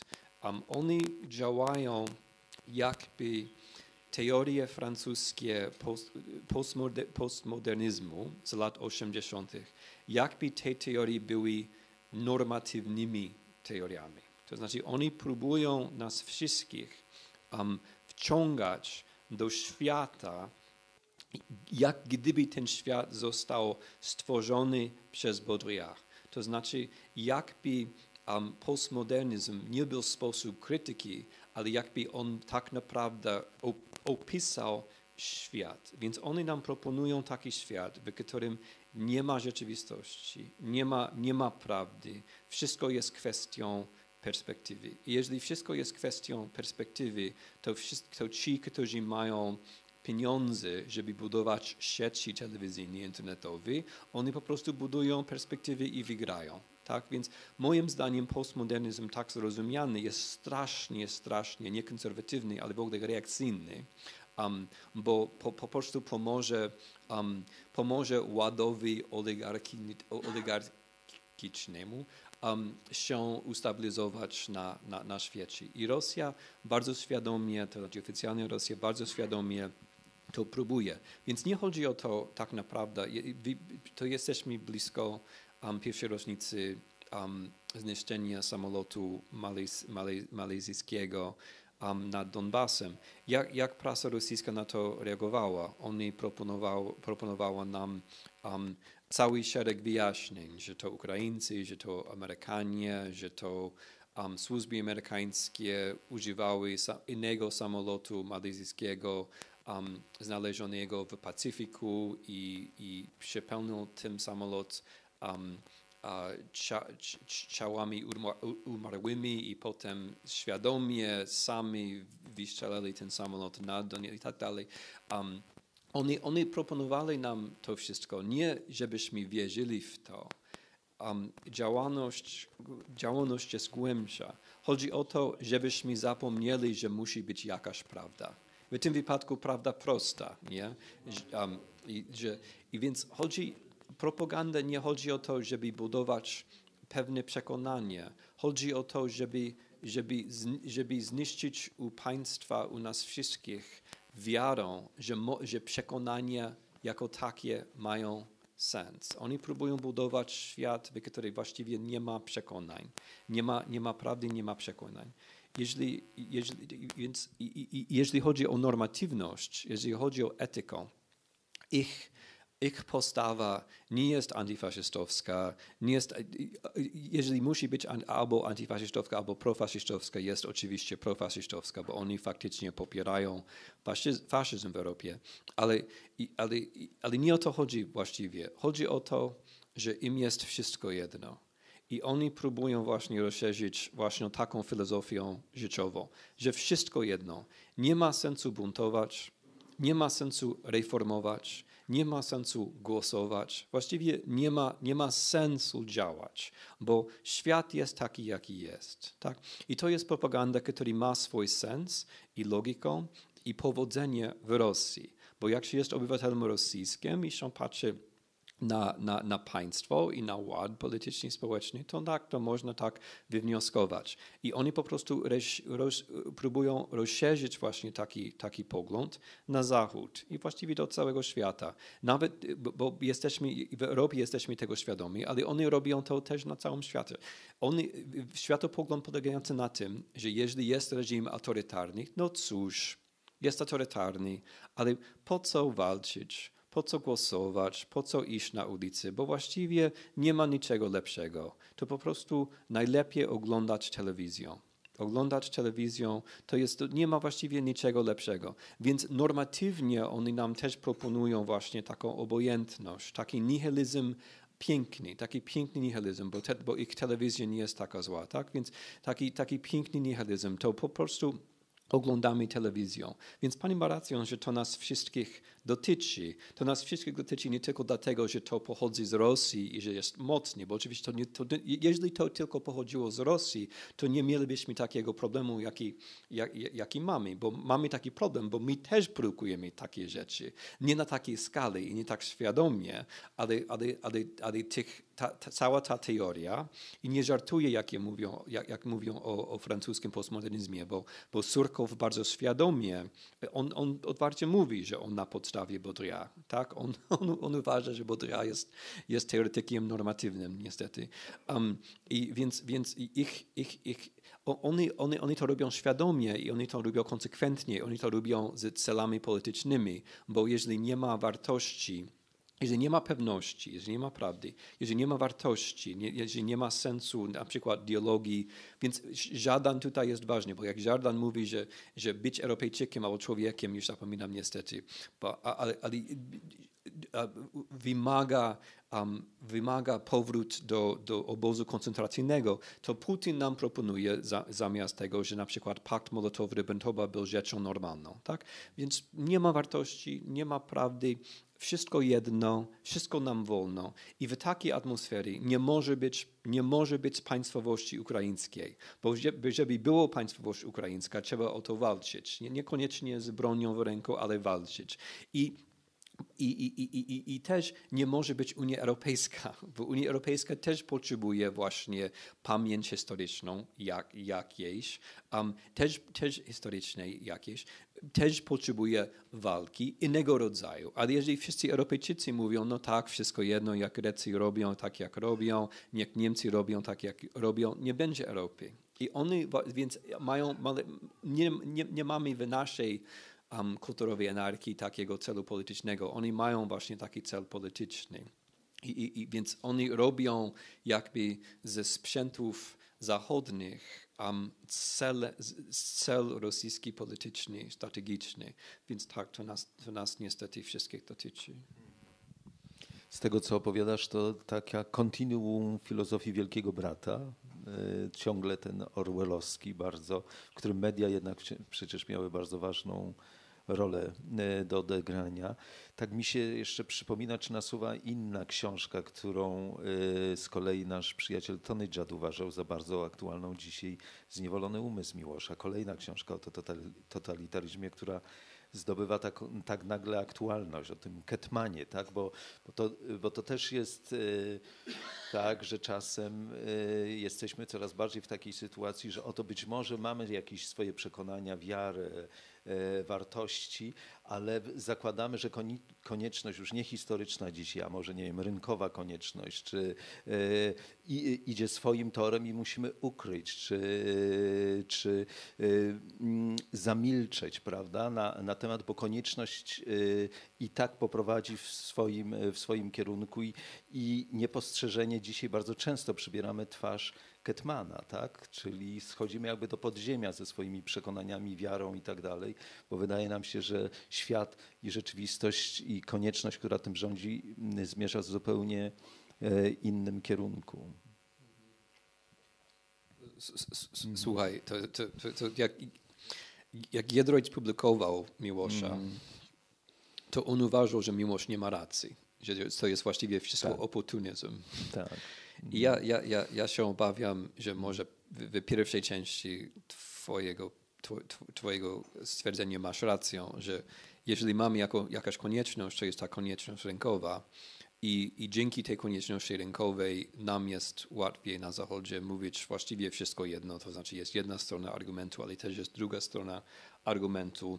I oczywiście jak, jak, oczywiście jak się ma środki, to trzeba, można budować szybko od niczego tą drugą stroną argumentu. I właśnie nasza prasa amerykańska tak, tak wygląda. To znaczy przez pewien czas są, są jednak dobrzy dziennikarze, którzy szukają prawdy, którzy podróżują na przykład do Ukrainy Wschodniej i oni szukają i, jednak, jednak um, znajdą prawdę i opublikują i to jest, i, i, i, to, jest, to jest bardzo ważne. Ale mi się wydaje, że właśnie ta Rosjanie bardzo liczą na to, że nasza, jed, nasza jedyna konieczność jest rynkowa i oni są bardziej, to znaczy ich cynizm nie jest do końca usprawiedliwiony, bo, bo nie jest tak, że wszyscy jesteśmy tacy. Nie jest, nie, nie jest, nie jest na szczęście tak. Są, są, są, są tacy, którzy szukają prawdy, ale indywidualnie.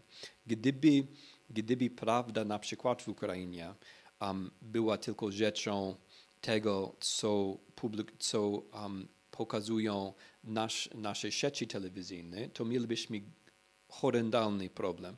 Um, przykład naj, naj, naj, najlepszy tutaj jest, jest właśnie niemiecki, bo rosyjska propaganda um, bardzo celową, bardzo celowo trafiła na niemieckie historyczne poglądy i poczucie, uh, poczucie bo, bo dla, dla rosyjskich um, dla rosyjskich socjotechników niemieckie poczucie winy jest po prostu resursem politycznym, tak, mm. tak zwanym. Więc oni bardzo celowo, bardzo trafnie pracowali, pracowali, ale jednak, i to funkcjonowało bardzo dobrze, ale jednak była garstka niemieckich dziennikarzy, którzy podróżowali, którzy byli w Kijowie podczas Majdanu, a którzy podróżowali um, a we, we wschodzie podczas wojny. I właśnie dzięki tej, garst, tej garstce ludzi um, inna narracja, bardziej konkretna, mm -hmm. mogła, się, um, mogła się wyłonić. Mm -hmm.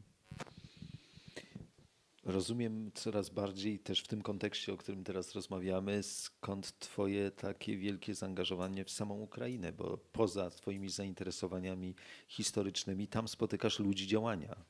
Tam spotykasz ludzi, którzy wychodzą na ulicę, tworzą Majdan i to jest jedno z takich ogniw w tym świecie stagnacji, które, które daje szansę walki i tym samym nadziei też. Hmm.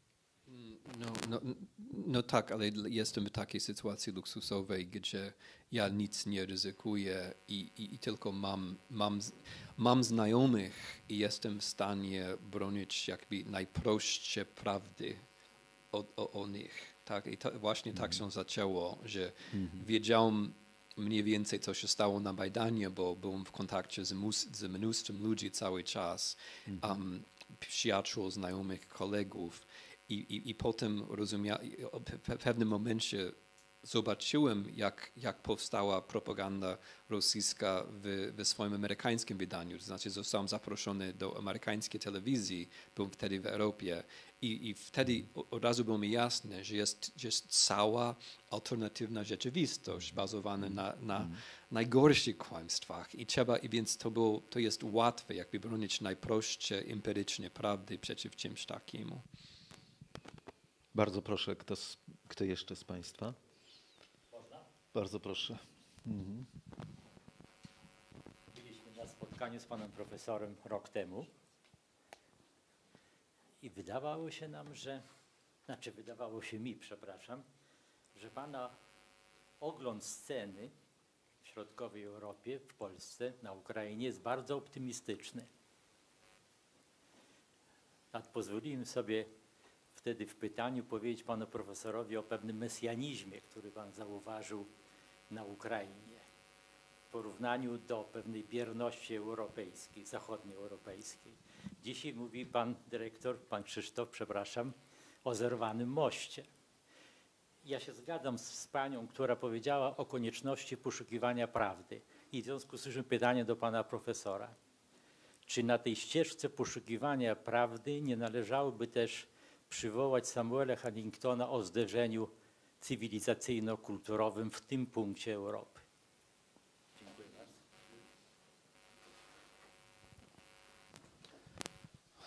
No, cała koncepcja zde- zderzeń cywilizacji zawiera w sobie sporo abstrakcji, więc y, trzeba by było najpierw gruntować wszystkie te abstrakcje.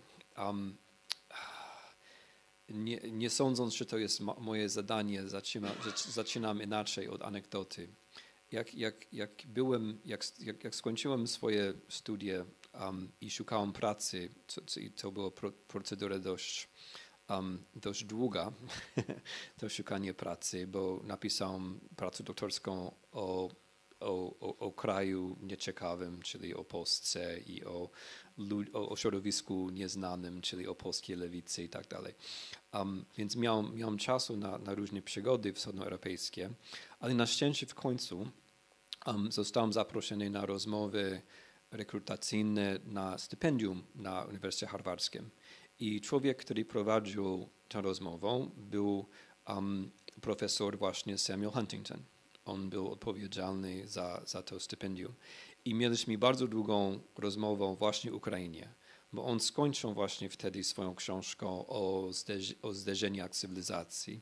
I on był zdanie właśnie, że jest taka linia um, po, poprzez Ukrainę i tam jest, tam jest a po, po jednej stronie jest rzeczywistość um, zachodnia. Ja nie wiem, jak, ja pamiętam, jak dokładnie ona określiła po zachodniej stronie, po wschodniej stronie to jest cywilizacja bizantyjska, mi się wydaje. I że ta, tu jest tu i tu jest to.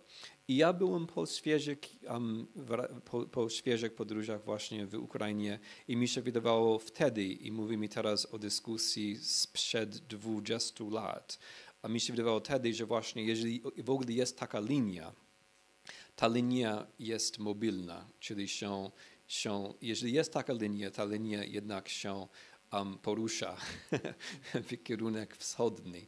I, i, I to mi już było jasne w, jakby w całkiem innym świecie. Więc ja nie, nie chcę bynajmniej zaprzeczyć znaczeniu re- religii, bo w teorii um, um, mojego, on, on stał się, to znaczy piękno tego człowieka polegało na tym, że choć myśmy wcale, ale wcale nie zgodzili się w tej sprawie, on jednak mnie zaprosił na to stypendium i dzięki temu chyba właśnie, dzięki niemu, zawdzięczam właśnie niemu moją karierę skądinąd, bo nie miałem do tego punktu takiej, takiej bazy poważnej, zachodniej, um, jak dostałem na Harvardzie. Ale, ale, ale, ale od, nie, nie chcę zaprzeczyć, że religia ma, ma znaczenie głębokie, ale jednak Ukraina dla mnie jest raczej przykładem tego, jak, jak my możemy za dużo, um, za szybko wnioskować, że my możemy za szybko, zamiast politycznie albo zamiast społecznie myśleć, za szybko wnioskować, że według religii, według kultury coś musi tak być. I, ale można, proszę pana, można to też plastycznie też jakby rozważać, bo, bo, um, bo, bo, bo wielki filozof Putin um, właśnie teraz on proponuje właśnie taki pogląd cywilizacyjny. To się nazywa ruski mir. Um, I on proponuje właśnie wizję historyczną, strasznie okrutną i uproszczoną, według której jest taka cywilizacja, taka wschodnia, bizantyjska. I dzięki tej cywilizacji właśnie Kijów nie ma dwóch narodów. Nie ma narodu, narodu ukraińskiego. Więc nie, nie, nie chcę mówić, że Pana, nie, wcale nie chodzi o to, że Pana pogląd jest, jest taki sam, ale chodzi mi o to, że właśnie ta teoria cywilizacyjna też teraz działa, na, działa politycznie. I, i jak, ja, jak ja rozumiem sytuację, to ta teoria była politycznie mniej udana niż sam prezydent Putin oczekiwał, ale też mniej udana niż bardzo dużo nas na Zachodzie oczekiwało. Um, bo, bo myśmy też takimi kategoriami myśleli, ale tak naprawdę okazało się, że właśnie taki Dnipropetrowsk jest bardziej antyrosyjski niż, niż praktycznie rzecz biorąc niż Lwów. I żadna teoria cywilizacji by tego nie przewidziała. Bardzo proszę. Mamy jeszcze troszkę czasu. Kto, kto jeszcze z Państwa? Pan Wojciech. Mhm.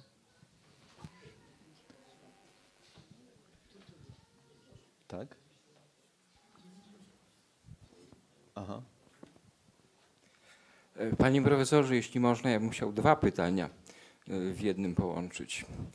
E, po pierwsze, odwołać się do Pana intuicji historyka.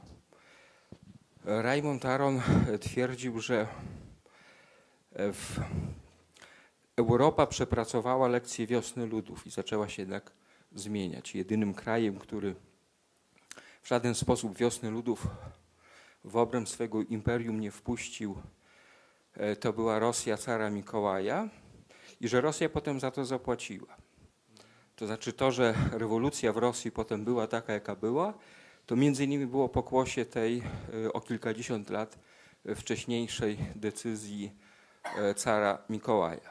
Czy można sobie wyobrazić sytuację taką, że polityka Putina e, może przynieść w perspektywie, nie wiem, pokolenia podobny efekt? I druga sprawa, która, drugie pytanie, które się poniekąd z tym wiąże. Czy wedle Pana wiedzy, Pana obserwacji, koncepcje Dugina są bliskie myśleniu Putina? Czy to jest taka konfabulacja historiozoficzno-politologiczna, której Kreml tak do końca serio nie, nie traktuje? Dziękuję.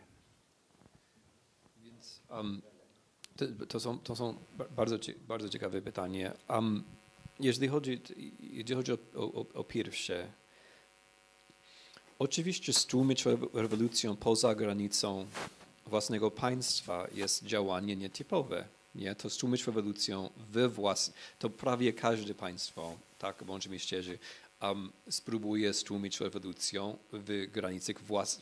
własnego kraju. Tak, właśnie chodzi o rewolucję, że trzeba... W, w rewolucji chodzi o to, żeby, żeby wygrać przeciw państwie przecież. Ale stłumić rewolucję poza granicą własnego kraju to jest czymś innym. I ma, ma pan rację, że jest ciekawe zjawisko, że, że właśnie Imperium Rosyjskie tak działało podczas rewolucji nie własnej, ale austriackiej. I moim zdaniem chyba ma, ma, ma pan rację, sugerując, że to ma, to ma to, to teraz dla, dla, siebie mówię, nie dla pana, że, że to ma konsekwencje dal, daleko, daleko sięgące dla Rosji. I moim zdaniem um, i, i, trochę teraz wracam do kwestii optymizmu. Um, ta wojna ma konsekwencje większe dla Rosji niż dla Ukrainy, bo jeżeli, jeżeli budujesz naród na podstawie fikcyjnej właśnie wojny przeciw kimś, um, przeciw kimś innemu i na podstawie jakby historiosoficznej, um, i, i, trochę teraz już o Duginie mówią, na podstawie, że właściwie cała historia świata jest wielki spisek wszystkich wobec Rosji. I więc jeżeli, jeżeli cała historia jest spiskiem przeciw Rosji, to oczywiście jest, jest usprawiedliwiony stłumić rewolucję ukraińską, bo to jest po prostu częścią spisku przeciw Rosji oczywiście. I oni już dojrzeli do tego, że, żeby mówić, że właściwie wszystkie takie rewolucje są, są działem amerykańskie, czy ewentualnie gejowskie, ewentualnie um, żydowskie, ewentualnie unijnej ręki, ale w każdym razie są, są, są działaniem um, jakiejś tam konspiracji przeciw Rosji, um, oni tak twierdzą i to jest bardzo ciekawe, bo, bo większość, nie, większość um, ruchów społecznych na, na świecie jest, jest jednak antyamerykańska, nie proamerykańska. ale oni mają odpowie odpowiedź na to. Odpowiedź na to brzmi, że jesteśmy bardzo inteligentni, więc planujemy tak, żeby większość była. I nawet, nawet, nawet ruchy, które są w Stanach Zjednoczonych, są planowane przez służby amerykańskie, żeby, żeby stworzyć pozory że nie wszystkie ruki są przeciw Rosji, ale w każdym razie i tak, mi się wydaje, że ma Pan rację, że, że stłumić, właśnie stłumić tę rewolucję ukraińską. Ja to rozumiem właśnie takimi kategoriami, bo mi się wydaje, to się, to, to się odbywało a w Ukrainie była rewolucja, ale nie wszystkie rewolucje kończą się szczęśliwie, oczywiście. I to, co się stało dzięki Rosji, teraz jest jakby kontrrewolucja, obiektywnie, jakby strukturalnie, bo wojna nie pomaga ruchowi reformistycznemu. Pomaga um, oligarki, to znaczy krótkoterminowo oczywiście, bo oligark, oligarkowie um, byli potrzebni, żeby walczyć fizycznie, bo nie było państwa, nie było wojska, więc ktoś musiał to robić. Więc jak jest wojna, to trzeba walczyć z tym, co jest pod ręką i pod ręką byli właśnie oligarchowie. Um, ale, ale też um, jak jest wojna, zawsze jest silny argument, że nie można teraz reformować państwo, kraj. Więc wojna rosyjska, moim zdaniem, jest, jest, jest czystym przykładem kontrrewolucji. kontrrewolucji. Oni też tak już, um, a dyplomacja rosyjska też tak, takimi właśnie koncepcjami się posługuje, mówiąc o Ukrainie i o ich różnych działaniach um, na, na, na, na świecie. Więc mi się wydaje, że właśnie tak. I, i właśnie tego się boję. Ja, ja, ja, uważam, um, ja uważam, że jednak w Ukrainie wszystko będzie w w porządku za pokoleniem. Um, ale o Rosji, o przyszłości Rosji teraz się boję znacznie więcej niż przed tą, tą wojną. Znacznie więcej. Um, jeśli chodzi o Duginię, to nie mogę odpowiedzieć na, na, na, pytanie tak sformułowane, bo po, po, prostu nie mam dostępu do, do, do, do głowy prezydenta Putina. Mi się wydaje jednak, że ogólnie rzecz biorąc, fakt, że, że, że um, polityka rosyjska, europejska została sformułowana właśnie jako euroazjatycka, ma swoje znaczenie. I fakt, że Dugin jednak ma ma, ma potencjał, ma możliwości swoje poglądy rozszerzyć w dzisiejszej Rosji, ma swoje znaczenie, niezależnie od tego, czy Putin w to wierzy, czy nie. nie są, ja myślę, że Putin wierzy w bardzo, to jest, nie, może nie mam racji, ale w moim przekonaniu on jest raczej nihilistą, um, z, z, jednym wyjątkiem, on wierzy, że jest Rosja. Wierzy, że właśnie taki, taki, taki Chevaliow, ten Jury, ten Jury Chevaliow, opisując um, ten Charków sowiecki, ten, ten, ten, ten czwarty Charków, on opisuje też mentalność sowiecką, stalinowską, bardzo pięknie. I, i jak, jak się wyrasta w świecie um, kłamstw, tak?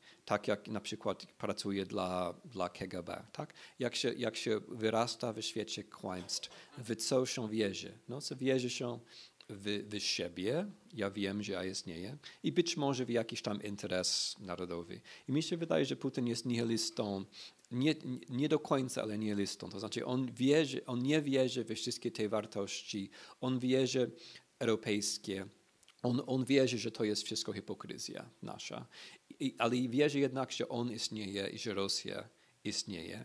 I jeżeli, jeżeli, jeżeli, są, jeżeli takie przekonanie określą całą sferą wiary, a przekonań, to taki Dugin jest użyteczny, bo taki Dugin jakby wypełnia tę tę próżnią jakim, jakąś tam treścią. I ta treść, proszę Państwa, jest bardzo, nie wiem, ci, ci, ci mieliście okazję się um, oznajmić z, z, z, z, z, z książkami Aleksandra Dugina, ale to jest, to jest um, żeby używać słowa, które trzeba nie używać za dużo, ale to jest, to jest faszysta. to jest faszysta, to jest człowiek, który formował właśnie poglądy um, jako, jako ten, który chciał budować rosyjski wariant narodowego socjalizmu. Więc to nie, to, nie, to nie są banały. On teraz się przedstawia jako właśnie jako, um, jako taki postmodernista, który uważa, że nie ma wartości i, i potrzebna jest wielka katastrofa. I to wielka, chcieć wielkiej katastrofy to już jest dostatecznie źle, nie? Ale, ale on chce, żeby po tej katastrofie odbudowały się um, społeczeństwa na podstawie rasy i tak dalej. Więc to nie, to nie są banały. Ta treść, więc, więc nie można wykluczyć właśnie takiego scenariuszu, w, w, w ramach którego Putin, Putina nie interesuje Dugin, ale jednak te poglądy takie będą miały swoje znaczenie później. Um, I oczywiście Dugin sam chyba tak um, kalkuluje. Bardzo proszę. Mhm.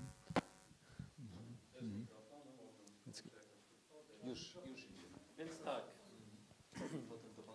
Pu- Putin nie jest nihilistą. Putin jest imperialistą. To, co kocha i to, co, co wierzy, i to jest jego praktyką, to jest ta naga władza. Za każdym razem, jak na wschodzie pojawia się nowy przywódca Rosji, to Zachód ma taką nadzieję, takie pobożne życzenia, tak zwany wishful thinking, że kolejny Gorbaczow, Jelcyn czy Putin to będzie raczej Piotr I niż car Iwan Groźny.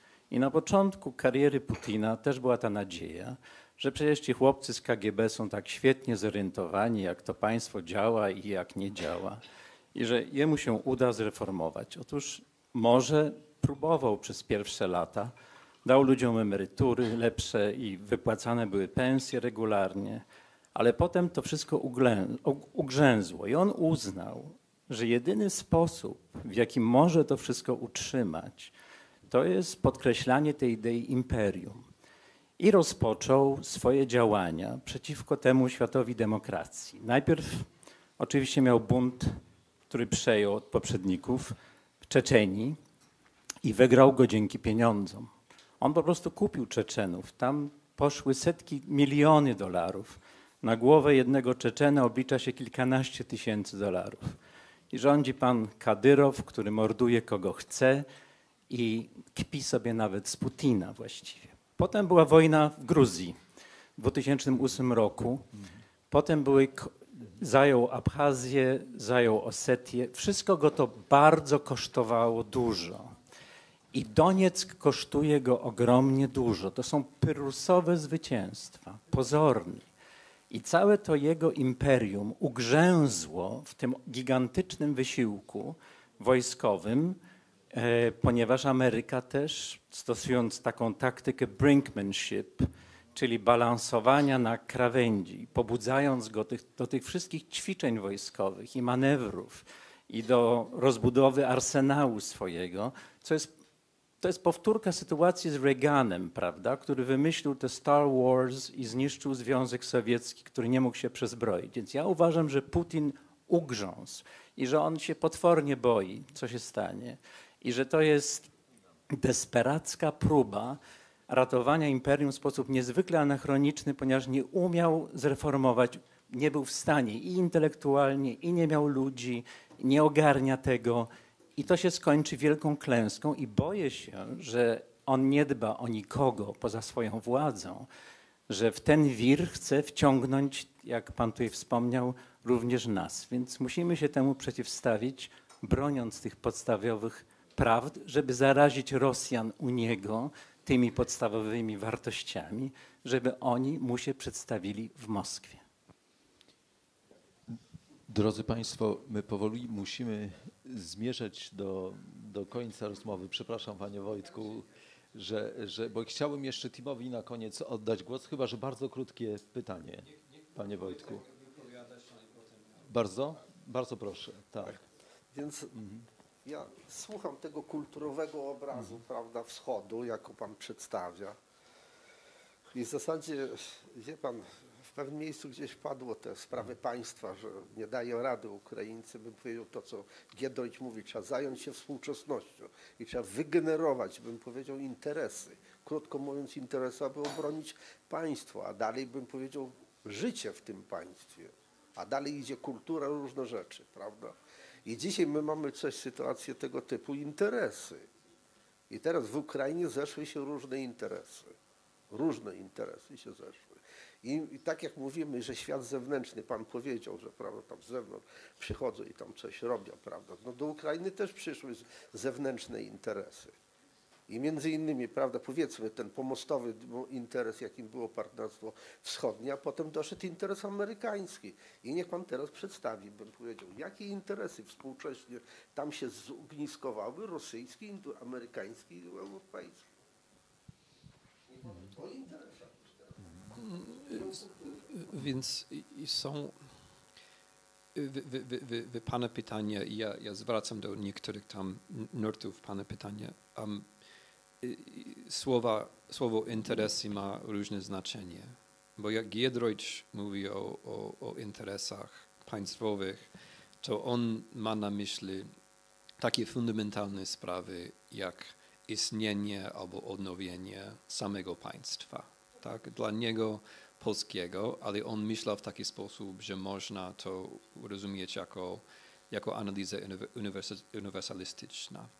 Um, jak, ale słowa interesy, jak dotyczy tymczasowy, um, tymczasowe działanie amerykańskie, rosyjskie, europejskie, to ma, albo rynkowe, ma, ma, ma inne konotacje. Więc jeżeli chodzi o pierwsze, jeżeli chodzi o pierwsze, pierwszą stronę pytania, mi się wydaje, że właśnie Ukraińcy trochę nam dali lekcję, jeżeli chodzi o państwowość, bo my, to my, nie oni, my i Rosjanie wspólnie. Cały czas mówili o języku, o kulturze, o etniczności, to my razem z Rosjanami tak robili. I potem Ukraińcy nam dali lekcję, że można po pierwsze mieć państwo dwukulturowe albo dwujęzykowe i po drugie można, można mieć um, armię, która walczy przeciw armii rosyjskiej. Więc, więc wszystko, możemy wszystko Ukraińcach teraz mówią, że społeczeństwo korumpowane, że, że, że, że, że, że um, społeczeństwo biedne i tak dalej, i tak dalej. Ale oni robią coś, czego akurat my nie robimy. Oni walczyli przeciw wojsku rosyjskiemu. Bez pomocy, bez znaczącej, bez znaczącej się pomocy Um, jedyna, jedyny kraj, który teraz sprzeda broń Ukraińcom, to jest akurat Białoruś. To jest historia ciekawa sama w sobie. Więc, więc oni, chodzi mi o to, że oni nam dali lekcję, nieodwrotnie, że że im chodzili cały czas o, o, państwo i nie o etniczność. Jeżeli chodzi o strategię, to mi się wydaje, że ci na Majdanie mieli strategię um, mniej więcej, choć oni nie są, nie każdy jest w stanie to tak artykulować oczywiście, ale mieli strategię sensowną, mianowicie my mamy korupcję, która jest większa od nas. Nie jesteśmy w stanie z tą korupcją walczyć, potrzebujemy pomocy europejskiej. I jedyny sposób na to jest, jest właśnie, żeby podpisać taką umowę um, stowarzyszeniową z Europą. Więc Majdan się zaczął właśnie od takiego blachego, blachego um, powodu, że oni chcieli podpisać umowę z Unią Europejską, ale, ale kryła się za, za tym właśnie taka pomysł strategiczny, że musimy być w Europie, żeby być sobą. Żeby być suwerenni, potrzebujemy Europy. Co, Stany Zjednoczone moim zdaniem, um, to znaczy moim osobistym zdaniem, um, na nieszczęście nie mieli żadnej tam tragedii. Co myśmy wydali, a jeśli chodzi o pieniądze, co, co myśmy robili, to, to, to akurat prawie nic. Um, ja bym ja bym, ja bym jednak bardziej, więcej od nas oczekiwali. I, i, I, fakt, to znaczy potrzebna była rosyjska inwazja Ukrainy, żeby w ogóle myśmy zwrócili uwagę znowu na, na Europę. Jeśli chodzi o Europę samą, nie jest tak, że Unia Europejska ma interesy. Jest raczej tak, że Unia, Unia Europejska ma, ma, ma siłą taką bierną um, atrakcyjną. Tak? Unia Europejska po, po, po, przyciąga do siebie. I, i, to, I to dotyczyło, no, może już o tym za- zapominają, ale to dotyczyło też Polaków różnych politycznych orientacji. Um, był, jakiś, by- był jednak um, przed pokoleniem przekonanie mniej więcej ogólne, że nam jest potrzebna ta, ta Europa. Ta Europa, choć jest inna, jest nam po, potrzebna. Ukraińcy są właśnie w tym samym położeniu. Więc nie jest, nie jest tak, że Europejczycy chcieli Ukrainy, bynajmniej, bynajmniej. Oni też nie chcieli Polski. Może, może ci pamiętacie to, czy nie? Na pewno pamiętacie.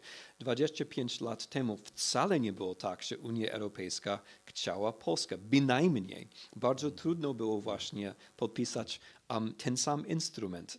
Taka umowa sto- stowarzyszeniowa bardzo trudno było Polakom podpisać, bo Unia Europejska nie chciała, nie chciała. I, i, i jak, jak została podpisana, to a w sposób, który był bardzo niekorzystny właśnie dla Polski i trzeba było walczyć, walczyć, walczyć, walczyć. Więc Ukraińcy są skądinąd w, sam, w tym samym położeniu, co wy przed, um, przed pokoleniem, ale, z, z, ale, ale też maj, mają ten problem, czego wy na szczęście nie mieli, to znaczy obecność rosyjskiego wojska na ich terytorium. Tak, tak. Czyli ten moment, kiedy Mustafa Naim wpisał ten wpis na Facebooka, że musimy zaprotestować przeciwko odrzuceniu umowy stowarzyszeniowej, to był początek Majdanu tak naprawdę i tego protestu. Drodzy Państwo, no musimy skończyć tą rozmowę. Bardzo, bardzo dziękujemy. Timothy Snyder, bardzo dziękujemy za... Mhm.